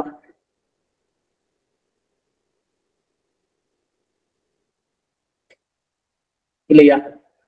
சரி ஓகே நெக்ஸ்ட் அடுத்து பாருங்க அடுத்து வந்து பார்த்தோம் அப்படின்னா next unit nine so unit nine ஒரு மேஜர் ரோல் ஏன்னா குரூப் ஃபோர்ல யூனிட் நைனு ஒரு பெரிய பங்களிப்பு கிடையாது. ஆனா குரூப் டூல யூனிட் நைனு ஒரு மேஜரான ஒரு ரோல் ஸோ ஏன்னா யூனிட் நைன்ல இருந்து மட்டும் ஒரு நாலு கேள்வி கேட்டிருக்காங்க ரெண்டாயிரத்தி இருபத்தி ரெண்டுல. டிஎன்பிசில ரெண்டாயிரத்தி பத்தொன்பதுக்கு அப்புறம் அடிஷனலா ஆட் பண்ணது. ஸோ அதனால ஸோ இதுல இதுல பாத்தீங்க அப்படின்னா இதுல உள்ள எல்லா டாபிக் இந்த டாபிக்கை ஃபுல்லா கண்டிப்பா படிச்சே ஆகணும். ஏன்னா இந்த அட்மினிஸ்ட்ரேட்டிவ்ல வரக்கூடிய டாபிக் வந்து அப்படியே நமக்கு மெயின்ஸ் வருது. ஸோ அதனால தமிழ்நாடு அட்மினிஸ்ட்ரேட்டிவ் வந்து பாத்தீங்கன்னா நீங்க ஃபுல்லா ஃபுல் படிச்சுதான் ஆகணும். ஸ்கூல் புக்ல இது கவர் ஆகாது. ஸோ நம்ம அகாடமில யூனிட் எயிட் அண்ட் யூனிட் நைனுக்கு ஸ்பெஷல் புக் அதாவது புதிய எடிஷன் புக் நியூ புக் போட்டிருக்கோம். ஸோ இல்லாதவங்க யூனிட் எயிட் அண்ட் நைன் அந்த புக்கை நீங்க வாங்கி ரெஃபர் பண்ணிக்கங்க. ரீசெண்டா இப்போ வரைக்கும் உள்ள ஸ்கீம் வரைக்கும் அப்டேட் பண்ணிட்டாங்க. ஸோ யூனிட் நைனை பொறுத்தவரை புக் அந்த புக் ஒன்று வாங்கிட்டீங்கன்னா இது எல்லாமே கவர் ஆயிரும். ஸ்கூல் புக்ல இந்த ஏரியா கவர் ஆகாது? இது மேஜர் நோட் நெக்ஸ்ட் அடுத்து மேக்ஸ் யா ஸோ மேக்ஸை பொறுத்தவரை பார்த்தோம் அப்படின்னா மேக்ஸ் வந்து நம்ம டென்த் லெவல் தான். யூனிட் யூனிட் டென்த் லெவலில் மேக்ஸ் ஸோ டென்த் லெவல்ல உள்ளது தான். ஸோ ஸ்கூல் புக்ல செம்ம டாபிக் வைஸ் பார்த்தாலே போதும். மேக்ஸ் நம்ம சால்வ் பண்ணி வாங்கிடலாம். மார்க் வாங்கிடலாம். ஸோ மேக்ஸ் வந்து நமக்கு வந்து மொத்தம் இருபத்தஞ்சு கொஸ்டின் கேட்குறாங்க. அந்த இருபத்தஞ்சு கொஸ்டின் ஃபுல் மேக்ஸ் வந்து ஃபுல்லாகவே ஸ்கூல் புக்கு ஃபுல்லாக பார்த்தாலே இந்த இருபது கொஸ்டின் சால்வ் பண்ணி முடிச்சிடலாம். மேக்ஸை ஏ ஸோ இதுதான் பிரிமரிக்கான பேட்டர்ன் ஸோ இந்த பிரிமரிக்கான பேட்டர்ன் இதுதான். அதாவது வந்து எப்படின்னா நமக்கு பிரிமரி எக்ஸாமுக்கு ஃபுல் அண்ட் ஃபுல் நமக்கு எவ்வளவு கொஸ்டின் கேட்கறாங்கன்னா ஒரு ரிவிஷன் பண்ணிக்கலாம். ஸோ மொத்தம் நம்ம கேட்கக்கூடிய கேள்விகள் மொத்தம் இரநூறு கொஸ்டின் நம்ம கேட்கறாங்க. அதாவது தமிழ் அல்லது இங்கிலீஷ் லாங்குவேஜ்ல இருந்து ஒரு நூறு கொஸ்டினும் அதே போல ஜிஎஸ் ஜென்ரல் ஸ்டடீஸ் இது மொத்தம் எழுபத்தஞ்சு கொஸ்டின் கேட்கறாங்க. இந்த எழுபத்தஞ்சு கொஸ்டினுக்கு நம்ம யூனிட் ஒன்ல இருந்து யூனிட் நயன் வரைக்கும் ஒரு ஒன்பது டாபிக் நம்ம பார்க்கணும். இந்த ஒன்பது டாபிக் பார்த்துட்டோம்னா செவன்டி ஃபைவ் கொஸ்டின் அட்டன் பண்ணி முடிச்சிடலாம். அடுத்து மேக்ஸ் ஒரு டுவெண்ட்டி ஃபைவ் கொஸ்டின் கேட்குறாங்க ஓவரால் டூ ஹண்ட்ரட் கொஸ்டின் நமக்கு மொத்தமா நியூமரிக்கு கேட்குறாங்க ஸோ இந்த டூ ஹண்ட்ரட் கொஸ்டின் மார்க்குன்னு கேட்டா ஒன் பாயிண்ட் ஃபைவ் மார்க் ஒரு கேள்விக்கு ஒன் பாயிண்ட் ஃபைவ் மார்க் மொத்தம் முந்நூறு மார்க் ஓகேவா சரி பிரிமரிக்கான பேட்டர்ன் இந்த இதுதான் பேட்டர்ன் இதுல ஏதாவது டவுட் இருந்தா நீங்க கேட்கலாம். பிலிமினரியில ஏதாவது டவுட் இருந்தா கேட்கலாம்.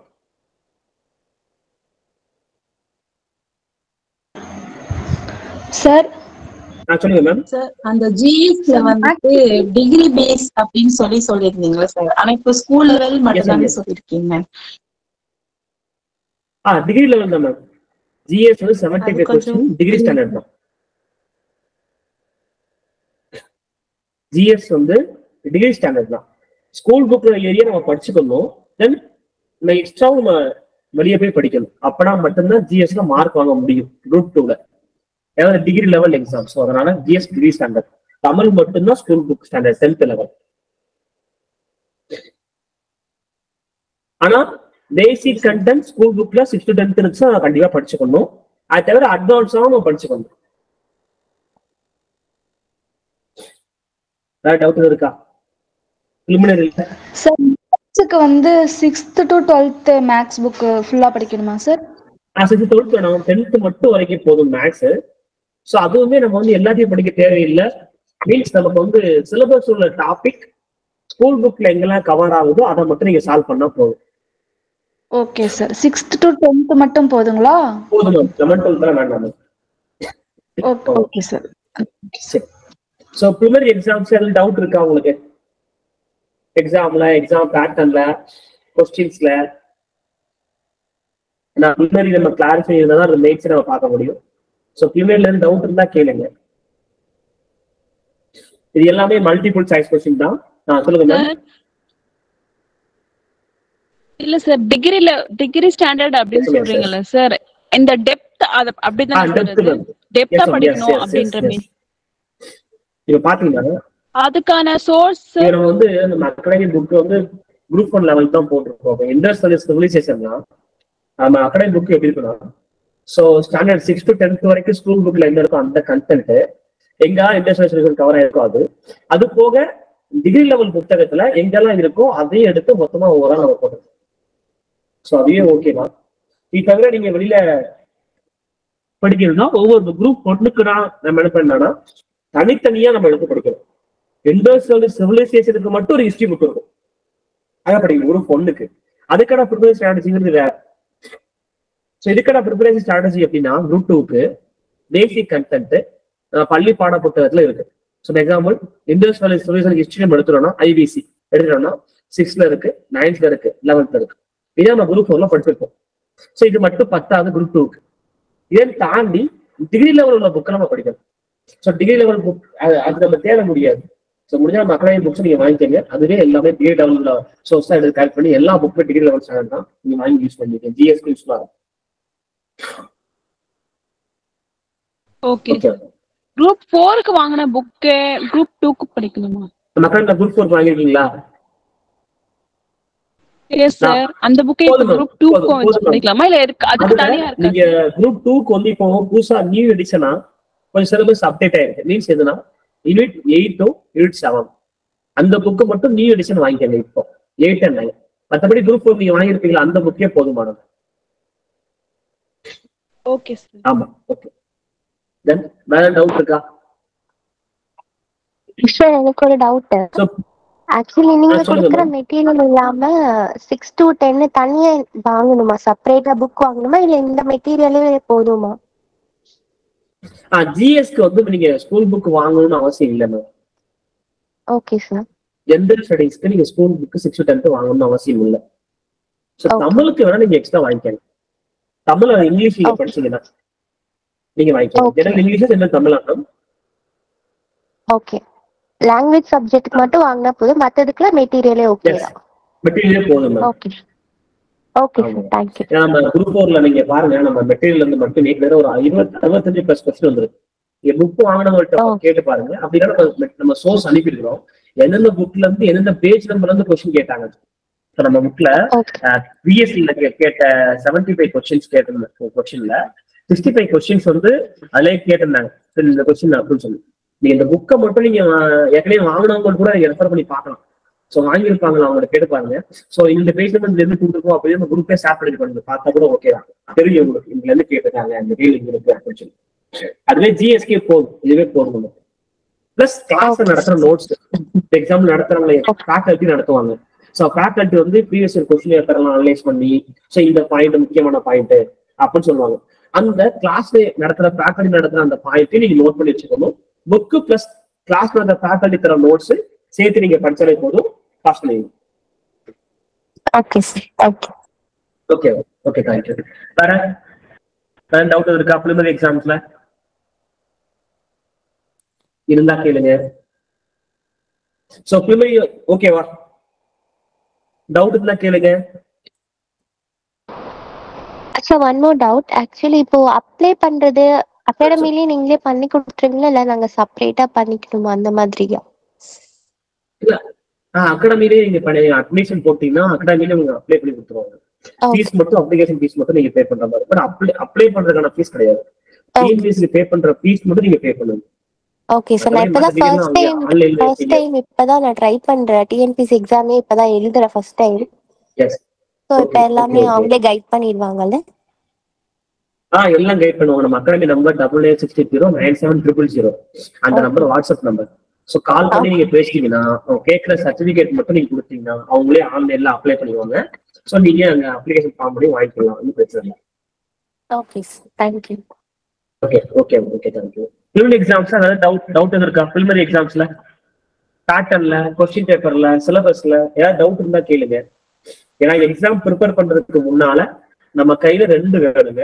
ஒன்னு சிலபஸ் இன்னொன்னு previous year question paper so syllabus recent syllabus நீங்க பிரிண்ட் எடுத்து வச்சுக்கோங்க.